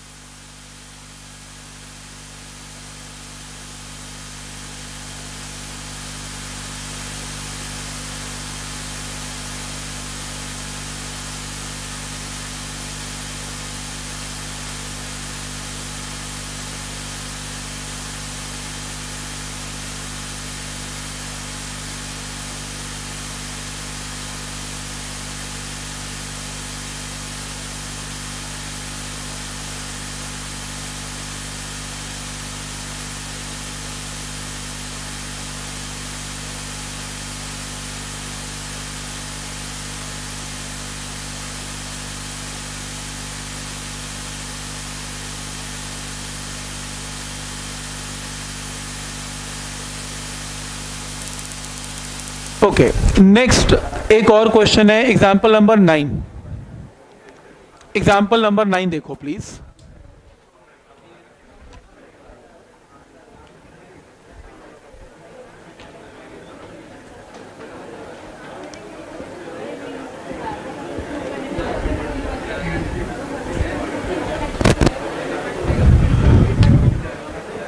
देखो एग्ज़ाम्पल नंबर नाइन में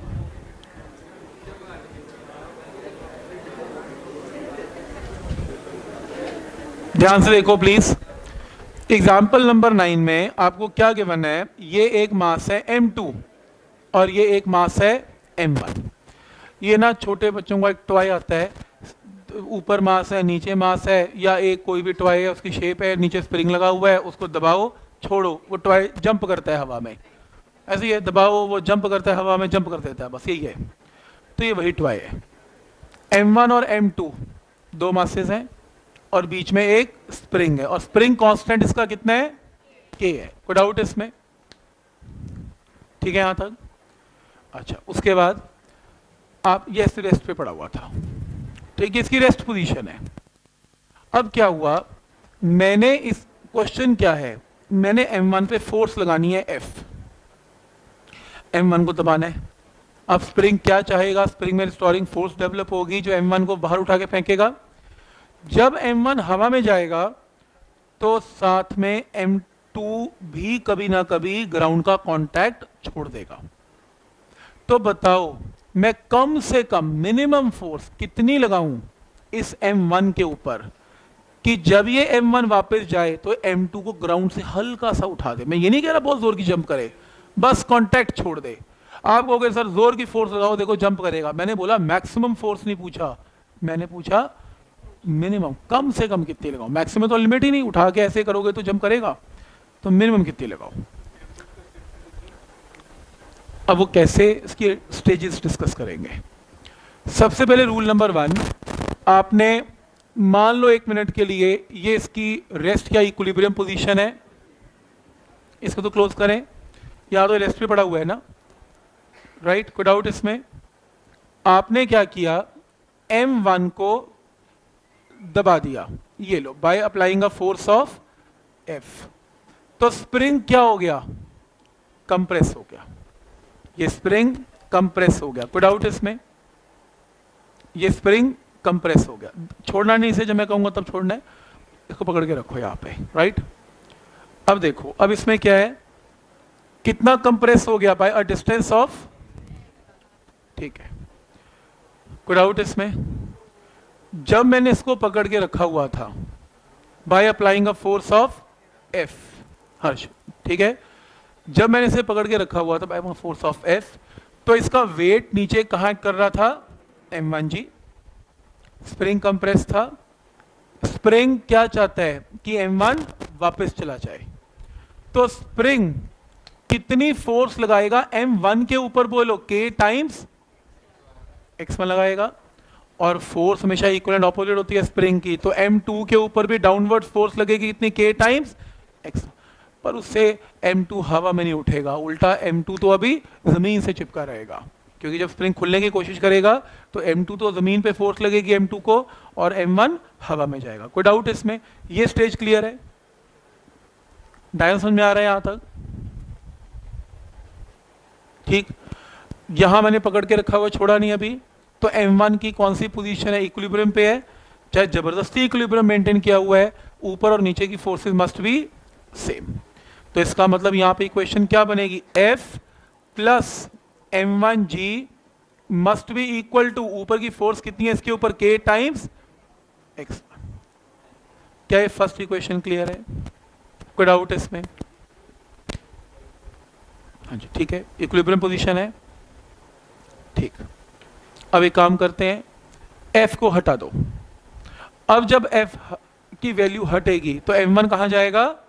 ऊपर। ये आपका एम टू है।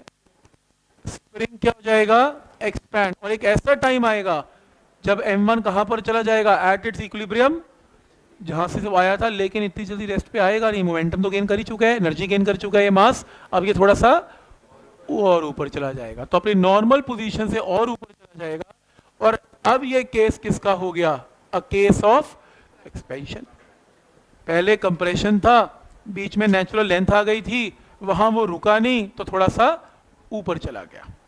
और कितना ऊपर चला गया? अपनी नेचुरल लेंथ से इक्विलिब्रियम से एक्स टू क्या ये पॉइंट क्लियर है? स्टेजी समझ में आ रही है। पहले कंप्रेशन है, फिर बीच में नेचुरल लेंथ आ गई थी, और अब एक्सपेंशन है। कोई डाउट इसमें? समझ में आ रहा है यहाँ तक? ठीक। क्लियर है यहाँ तक? आगे। अब इस केस में, जो मैंने बताया कि इसमें अब देखो एक ऐसी स्टेज आ गई, क्योंकि एक्स टू कितना है तो मालूम नहीं ना तो खुलता जा रहा है, खुलता जा रहा है। एक ऐसा टाइम आएगा, क्योंकि एक्सपेंशन हो रहा है। स्प्रिंग नहीं चाहता एक्सपेंशन हो स्प्रिंग के अंदर फोर्स डेवलप होगी, जो इस मास को कहाँ लेके आएगी? नीचे, अपनी नेचुरल पोजीशन पे, यानी कि रिस्टोरिंग फोर्स एक्ट करेगी। बोलो कितनी के टाइम्स इस बार फोर्स नीचे की तरफ़ है और ऑब्वियसली अगर यहाँ नीचे की तरफ़ है तो यहाँ पर ऊपर की तरफ़ है। कोई डाउट इसमें? K X two K X two point समझ में आ रहा है यहाँ तक? ठीक तो इस केस में M1 अगर हवा में आ गया था, लेकिन अब जा नहीं पाएगा तो के टाइम x2 इसे वापस खींचेगी।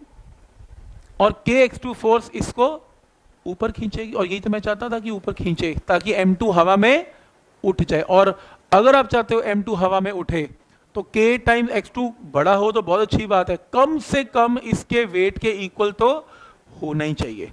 और क्योंकि हम मिनिमम फोर्स की बात करेंगे, हम लिमिटिंग की बात करेंगे तो हम ऐसे बोलेंगे कि ये फोर्स इसके इक्वल कम से कम हो। ज़्यादा तो हम नहीं लेंगे, क्योंकि उसने बोला मैक्सिमम फोर्स तो लगानी नहीं मिनिमम लगानी है। तो कम से कम ये इक्वेशन तो बनती है। कोई डाउट इसमें। तो ये आपकी क्वेश्चन नंबर थ्री है असाइनमेंट की क्वेश्चन नंबर वन है, वो असाइनमेंट की ऐसी है? Right right? अब नेक्स्ट केस ये यहाँ से चला M1 खुलता गया खुलता गया खुलता गया खुलता गया. M1 यहाँ पर आ गया. अच्छा बताओ, यहाँ पे बस अभी रेस्ट पे आ गया. क्लोज करें. नहीं नहीं रेस्ट पे नहीं आया. तो यहाँ पर यहाँ पर अगर ये रेस्ट पे नहीं आया तो क्या मैं यहाँ और यहाँ एनर्जी कंजर्वेशन लगा सकता हूँ? एनर्जी कहीं भी लग सकती है वैसे तो. चाहे वो रेस्ट पे आए या रेस्ट पे ना आए, आ जाए तो भी ठीक, ना आए तो भी एनर्जी कंजर्वेशन कभी बनानी है. फोर्स थोड़ा ध्यान से लगाना होता है. ठीक?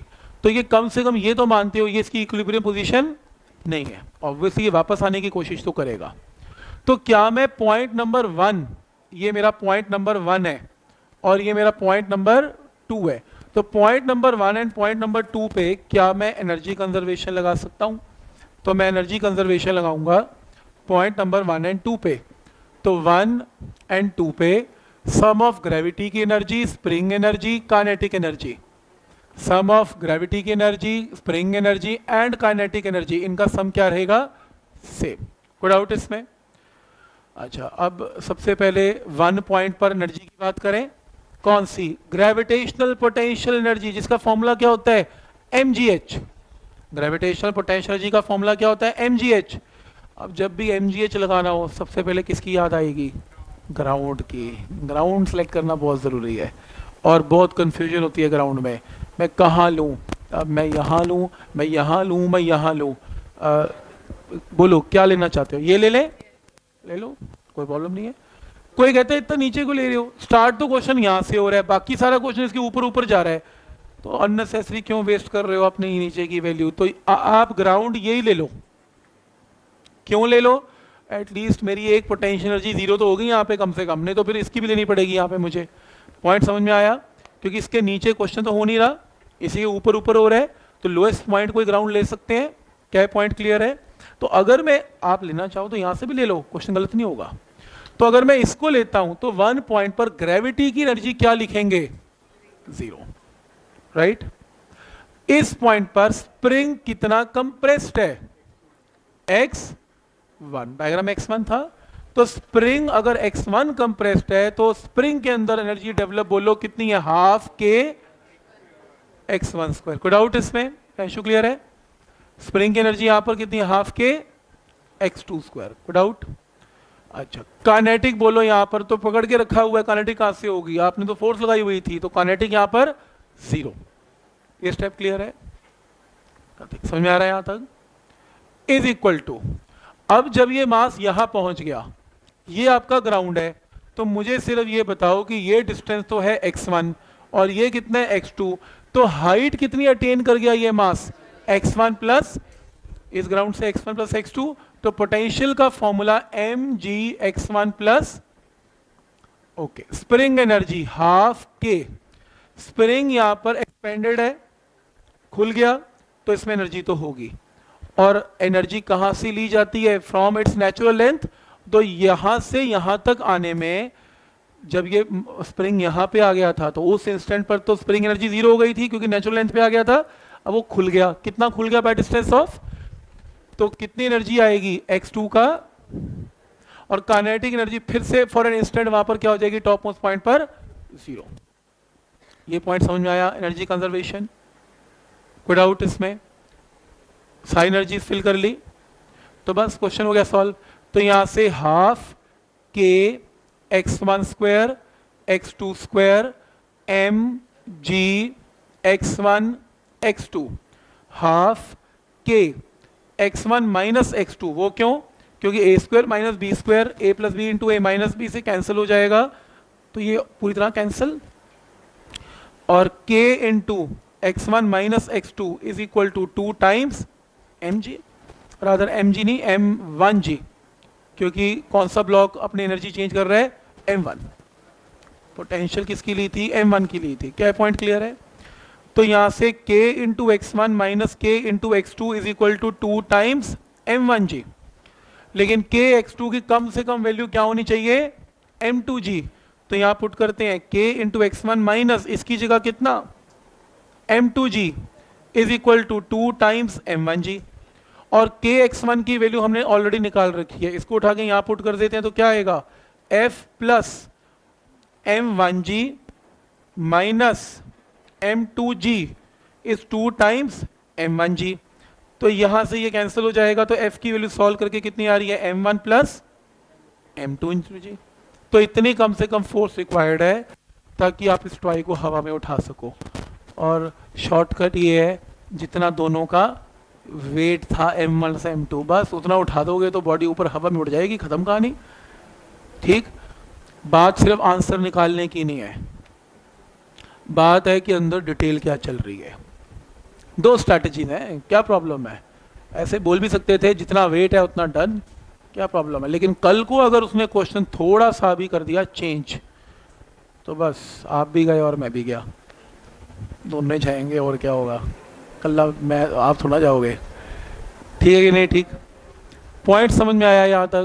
देखो, सिर्फ़ इस क्वेश्चन को करने से बहुत सारी चीज़ें और भी प्रैक्टिस होती है। और मैं यही समझाने की कोशिश कर रहा था कि एनर्जी कंजर्वेशन सुनने में बड़ा आसान है वन और डूबे लगा लेंगे। लेकिन वो पहले तो एकदम वो आइडिया डेवलप करना कि यहाँ एनर्जी कंजर्वेशन लगेगी। फिर उसके बाद ये एक्स वन लेंगे एक्स टू लेंगे, फिर एक्स वन एक्स टू अपने लिए हुए वेरिएबल्स हैं, उनको एलिमिनेट करना। ये कोई आसान काम नहीं है, बहुत मुश्किल काम है ये।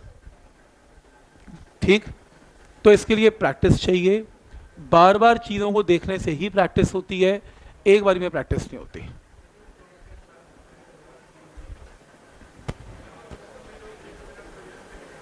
फिर से।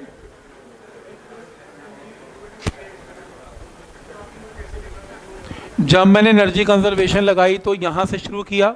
यहाँ पे फोर्स तो मुझे पता ही थी ना, जब मैं रोक के रखा था तो फोर्स को यूज़ कर सकता हूँ मैं? मैंने वन पॉइंट से लिया है।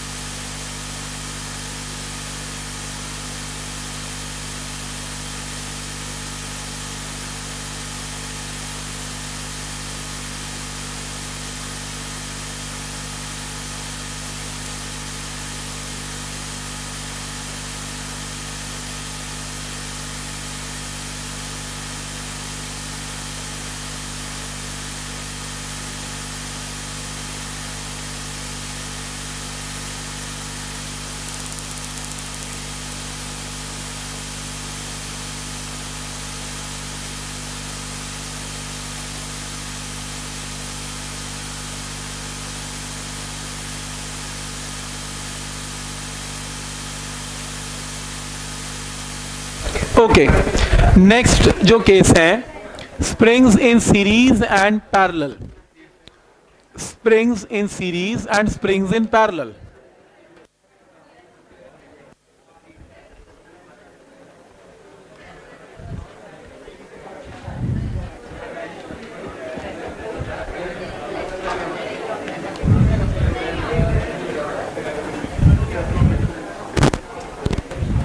देखो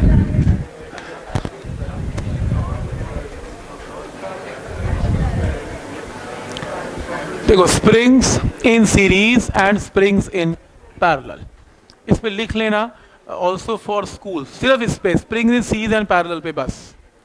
बस, जो हम केस करने जा रहे हैं, दो केस बस। स्कूल में भी आ सकता है और वैसे भी एस के अंदर बहुत इंपॉर्टेंट कॉन्सेप्ट है और ये बहुत यूज़ होता भी है।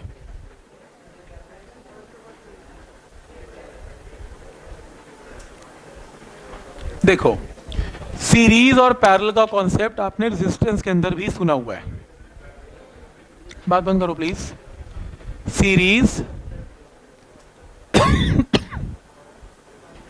एंड पैरल का कॉन्सेप्ट हमने रेजिस्टेंस के अंदर सुना हुआ है। हमने ये सुना हुआ है कि अगर दो रेजिस्टेंसेस सीरीज़ में हो R one and R two तो उनकी इक्वलेंट रेजिस्टेंस क्या होगी? आर वन प्लस ये इक्वलेंट रेजिस्टेंस क्या होती है?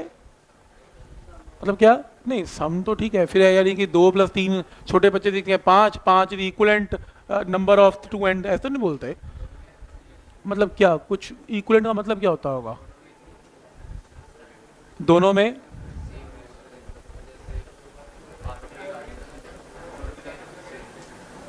और कोई एक्सप्लेनेशन ये इक्वलेंट रेजिस्टेंस का मतलब क्या होता है? नहीं है? नहीं? पैरेलल का कॉन्सेप्ट क्या होता है? ओके। मैं एक इलेक्ट्रॉनिक सर्किट डिज़ाइन करने जा रहा था। ध्यान से समझना। और हुआ क्या कि मेरे को ना एक ऐसा डिज़ाइन करना था कि दो रेजिस्टेंसेस को लगाना था, ये टू ओम है और ये थ्री ओम है। और एक के बाद एक लगाना था। पर प्रॉब्लम यह है कि मेरे को ना टू ओम की रेजिस्टेंस मिली, ना मेरे को तीन ओम की मिली।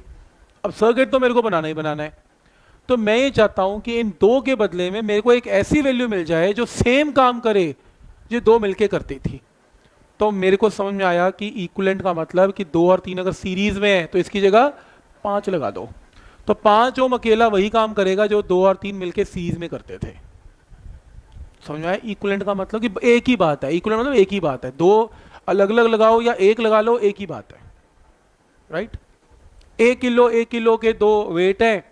उसकी जगह दो किलो का ले लो। इक्वलेंट वेट है यार। बात एक ही है। आप क्यों तोलोगे एक एक किलो से? दो किलो से तोलोगे चीज़ को। तो इक्वलेंट वेट है। समझ में आया यहाँ तक? ठीक।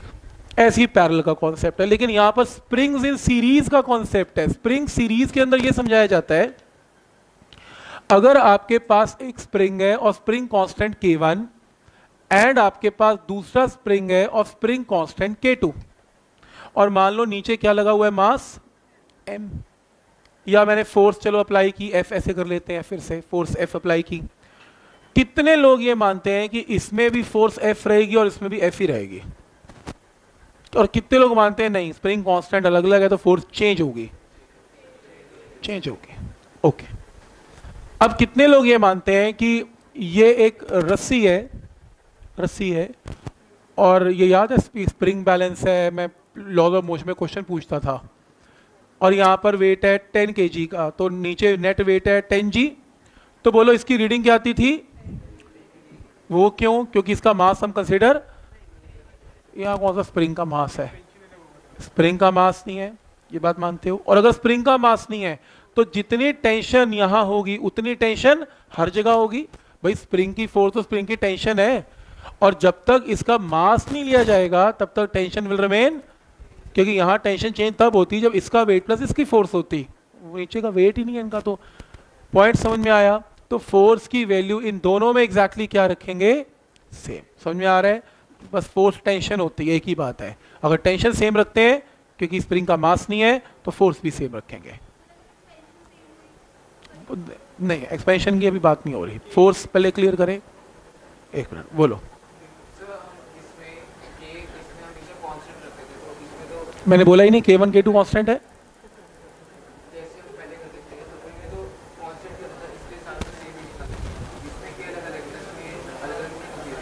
फोर्स आप समझे नहीं। देखो वायर एक वायर है।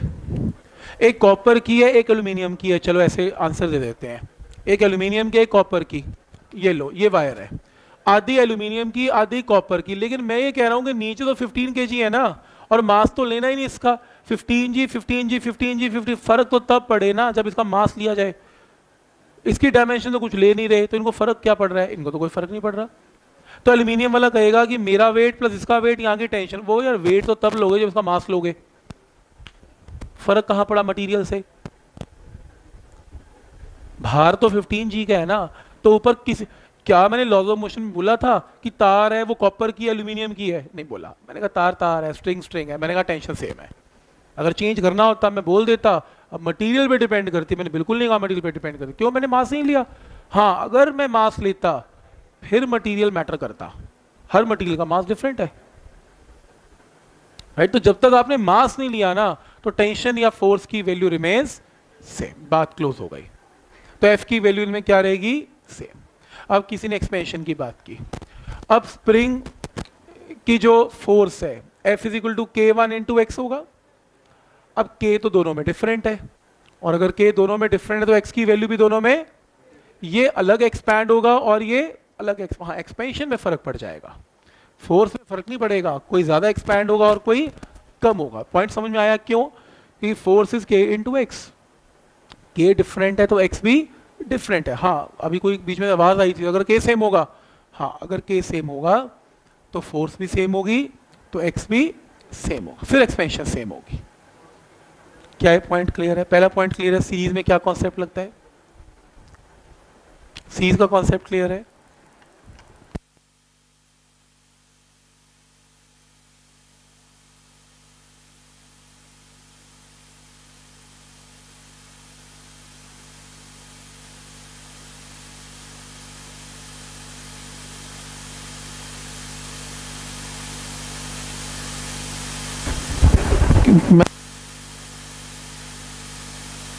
ठीक तो क्या ये पॉइंट क्लियर है यहाँ तक? तो फोर्स दोनों में सेम है। फोर्स की वैल्यू दोनों में सेम है और एक्सपेंशन दोनों में डिफरेंट है। मैं ये चाहता हूँ कि मैं दो स्प्रिंग की बजाय क्या करूँ सिर्फ़? एक स्प्रिंग लगाऊँ। जो सेम काम करे, जो दो मिलके करते थे। तो ये क्या करते थे? एफ़ फोर्स लगवाते थे। राइट और ये दोनों मिलके एक्सपेंशन कितनी करवाते थे? तो ये भी मैं चाहता हूँ इसमें भी सेम हो। और मान लो इसकी एक्सपेंशन मान लो एक्स है which should be equal to X one plus X two और इसका इक्वलेंट स्प्रिंग कांस्टेंट ये रहा। चेंज करना पड़ेगा ना? तो मैं दो स्प्रिंग की जगह एक स्प्रिंग लगाना चाहता हूँ और मैं देखना चाहता हूँ दोनों के स्प्रिंग कांस्टेंट में क्या रिलेशन है। तो सबसे पहला पॉइंट कि x की वैल्यू किसके इक्वल है? x1 one plus x two तो जो फोर्स होती है, वो kx होती है तो फ़र्स्ट स्प्रिंग के लिए इसके लिए F is equal to minus K one into कितना? X1 कोई कहेगा, माइनस ना लगाऊ, मत लगाओ, कोई बात नहीं. सबको मालूम है कि डायरेक्शन ऑपोजिट होती है, कोई दिक्कत नहीं है। अब लगा भी दोगे, फिर समय लगा देना, क्योंकि माइनस माइनस माइनस क्या हो जाएगा अल्टीमेटली कैंसिल हो जाएगा। नहीं लगाओगे, कोई बात नहीं। तो यहाँ से x1 की वैल्यू क्या आएगी? Minus F divided by K one minus F divided by K two minus F divided by K S तो one by K S one by K one one by answer तो और कुछ तो यार रहे ना रहे फॉर्मूला नहीं भूलना। आज के बाद दो स्प्रिंग अगर मान लो सीरीज़ में है, और मैं एक स्प्रिंग लगाना चाहूँ तो फॉर्मूला याद रखना। क्लियर ऑब्जेक्टिव में सीधा यूज़ होते हैं। कई बार स्कूल वाले पूछ लेते हैं सीरीज़ के अंदर ना वो फॉर्मूला ड्राइव करो ये वाला। मैं डालना भूल गया बुकलेट के अंदर प्लीज़ ये मार्क कर लेना इसमें। सही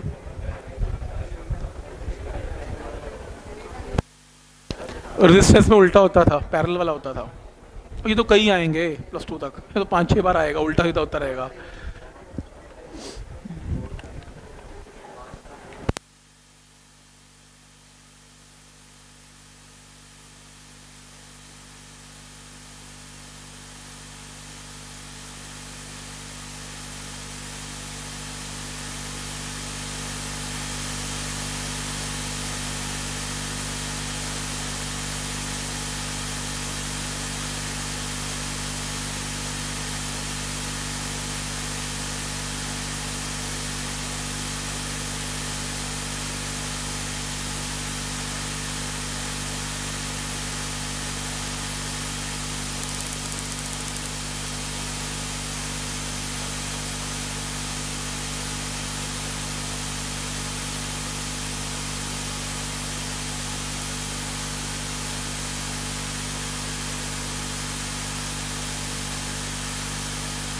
ओके नेक्स्ट केस करते हैं springs in parallel right springs in parallel parallel के अंदर,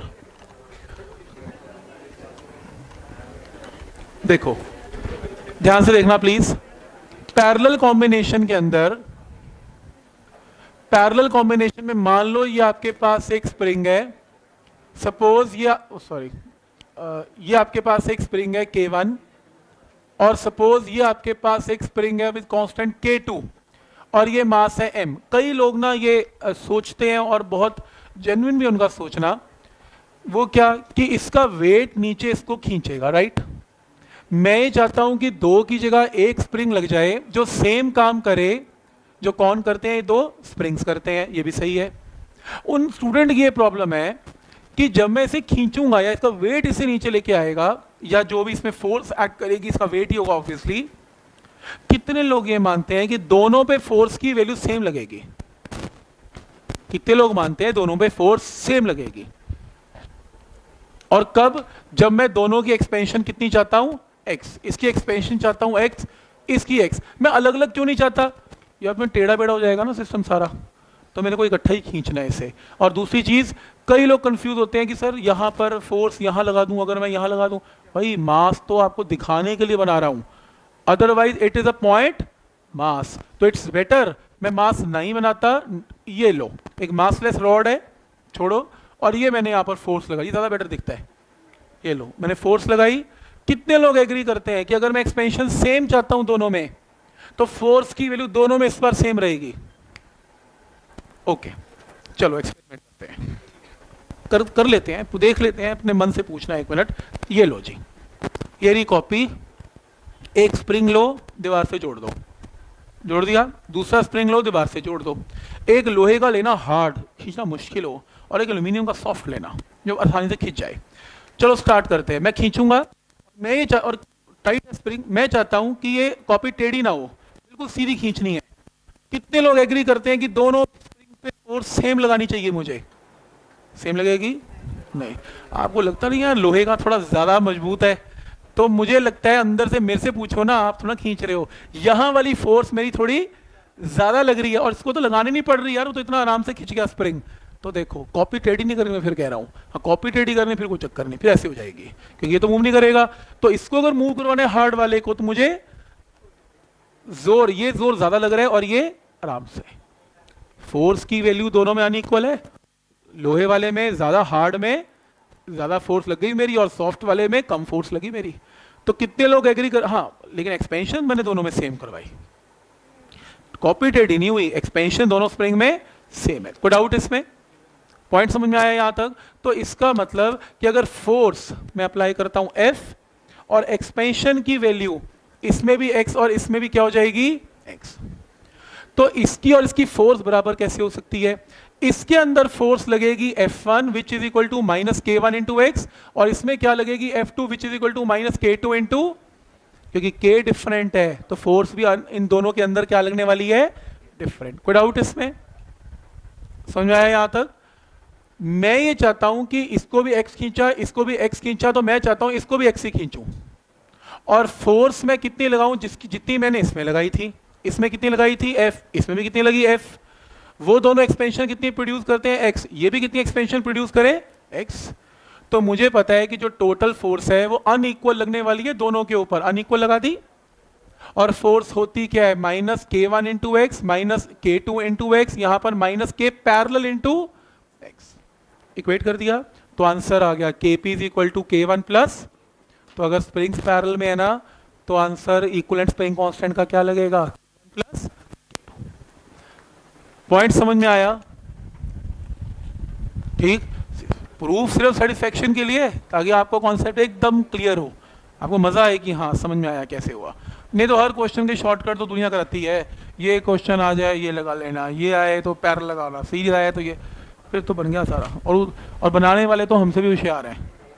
तुमसे तो है ही हैं, हमसे भी हैं। मतलब उन्होंने घुमा ही देना है थोड़ा सा। सारे उड़ा देने उन्होंने।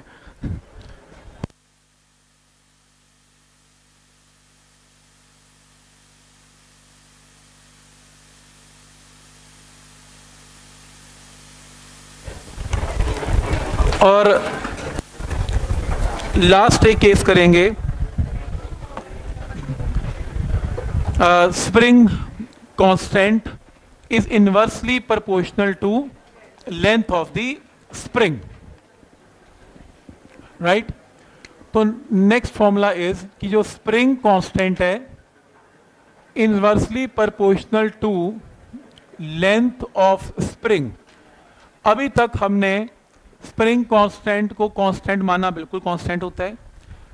लेकिन हमने ये नहीं देखा कि स्प्रिंग कांस्टेंट बनता कैसे है। ये कोई किताब बताएगी भी नहीं आपको। कहीं ना कहीं स्प्रिंग कांस्टेंट ना लेंथ पे डिपेंड करता है। हम क्योंकि एक स्प्रिंग लेके आते हैं। हम उसको काटते तो है नहीं कि लेंथ तो चेंज करते नहीं, इसलिए हमारा उस क्वेश्चन के अंदर स्प्रिंग कांस्टेंट चेंज नहीं होता। पर अगर मैंने उस क्वेश्चन में स्प्रिंग को काट दिया तो स्प्रिंग कांस्टेंट चेंज हो जाएगा। और काटने की नौबत तो आज तक आई नहीं। तो इसीलिए क्वेश्चन आएगा कि मैंने उसे कट कर दिया। कैसे कट किया? मान लो ये आपके पास स्प्रिंग है विद स्प्रिंग कांस्टेंट के और लेंथ इसकी एल मैंने इसके दो टुकड़े कर दिए L by two and L by two length के इनवर्सली प्रोपोर्शनल स्प्रिंग कांस्टेंट तो स्प्रिंग कांस्टेंट इनका क्या हो जाएगा? टू के टू के। हाफ़ हो गई ना लेंथ तो स्प्रिंग कांस्टेंट डबल हो जाएगा। जैसे आपके पास spring constant K length L आपने इसके तीन इक्वल हिस्से कर दिए। एक, दो, तीन L by three L by three तो बोलो स्प्रिंग कांस्टेंट क्या होगा? थ्री के three K three K. One by three का रेसिप्रोकल थ्री के। सपोज़ करो आपके पास एक स्प्रिंग कांस्टेंट के और लेंथ एल आपने L by three and two L by three तो वन बाई थ्री का उल्टा क्या होगा? Three K three by two का थ्री बाई नीट का क्वेश्चन आया, दो साल पहले स्प्रिंग कांस्टेंट कट करने वाला। बहुत आते हैं ऐसे मेंस में भी आते हैं वैसे। पॉइंट समझ में आया कि कैसे क्वेश्चन आएँगे? कोई डाउट इसमें? ये ये ये कह रहा है, निकाली कैसे आपने? ओके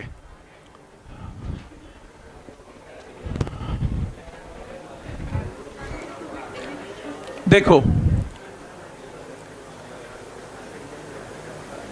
इसमें स्प्रिंग कांस्टेंट की जो वैल्यू है,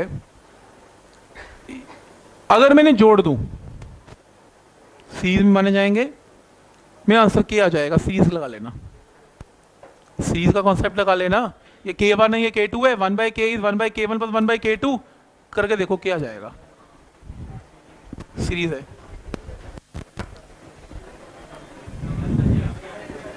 ठीक है ना?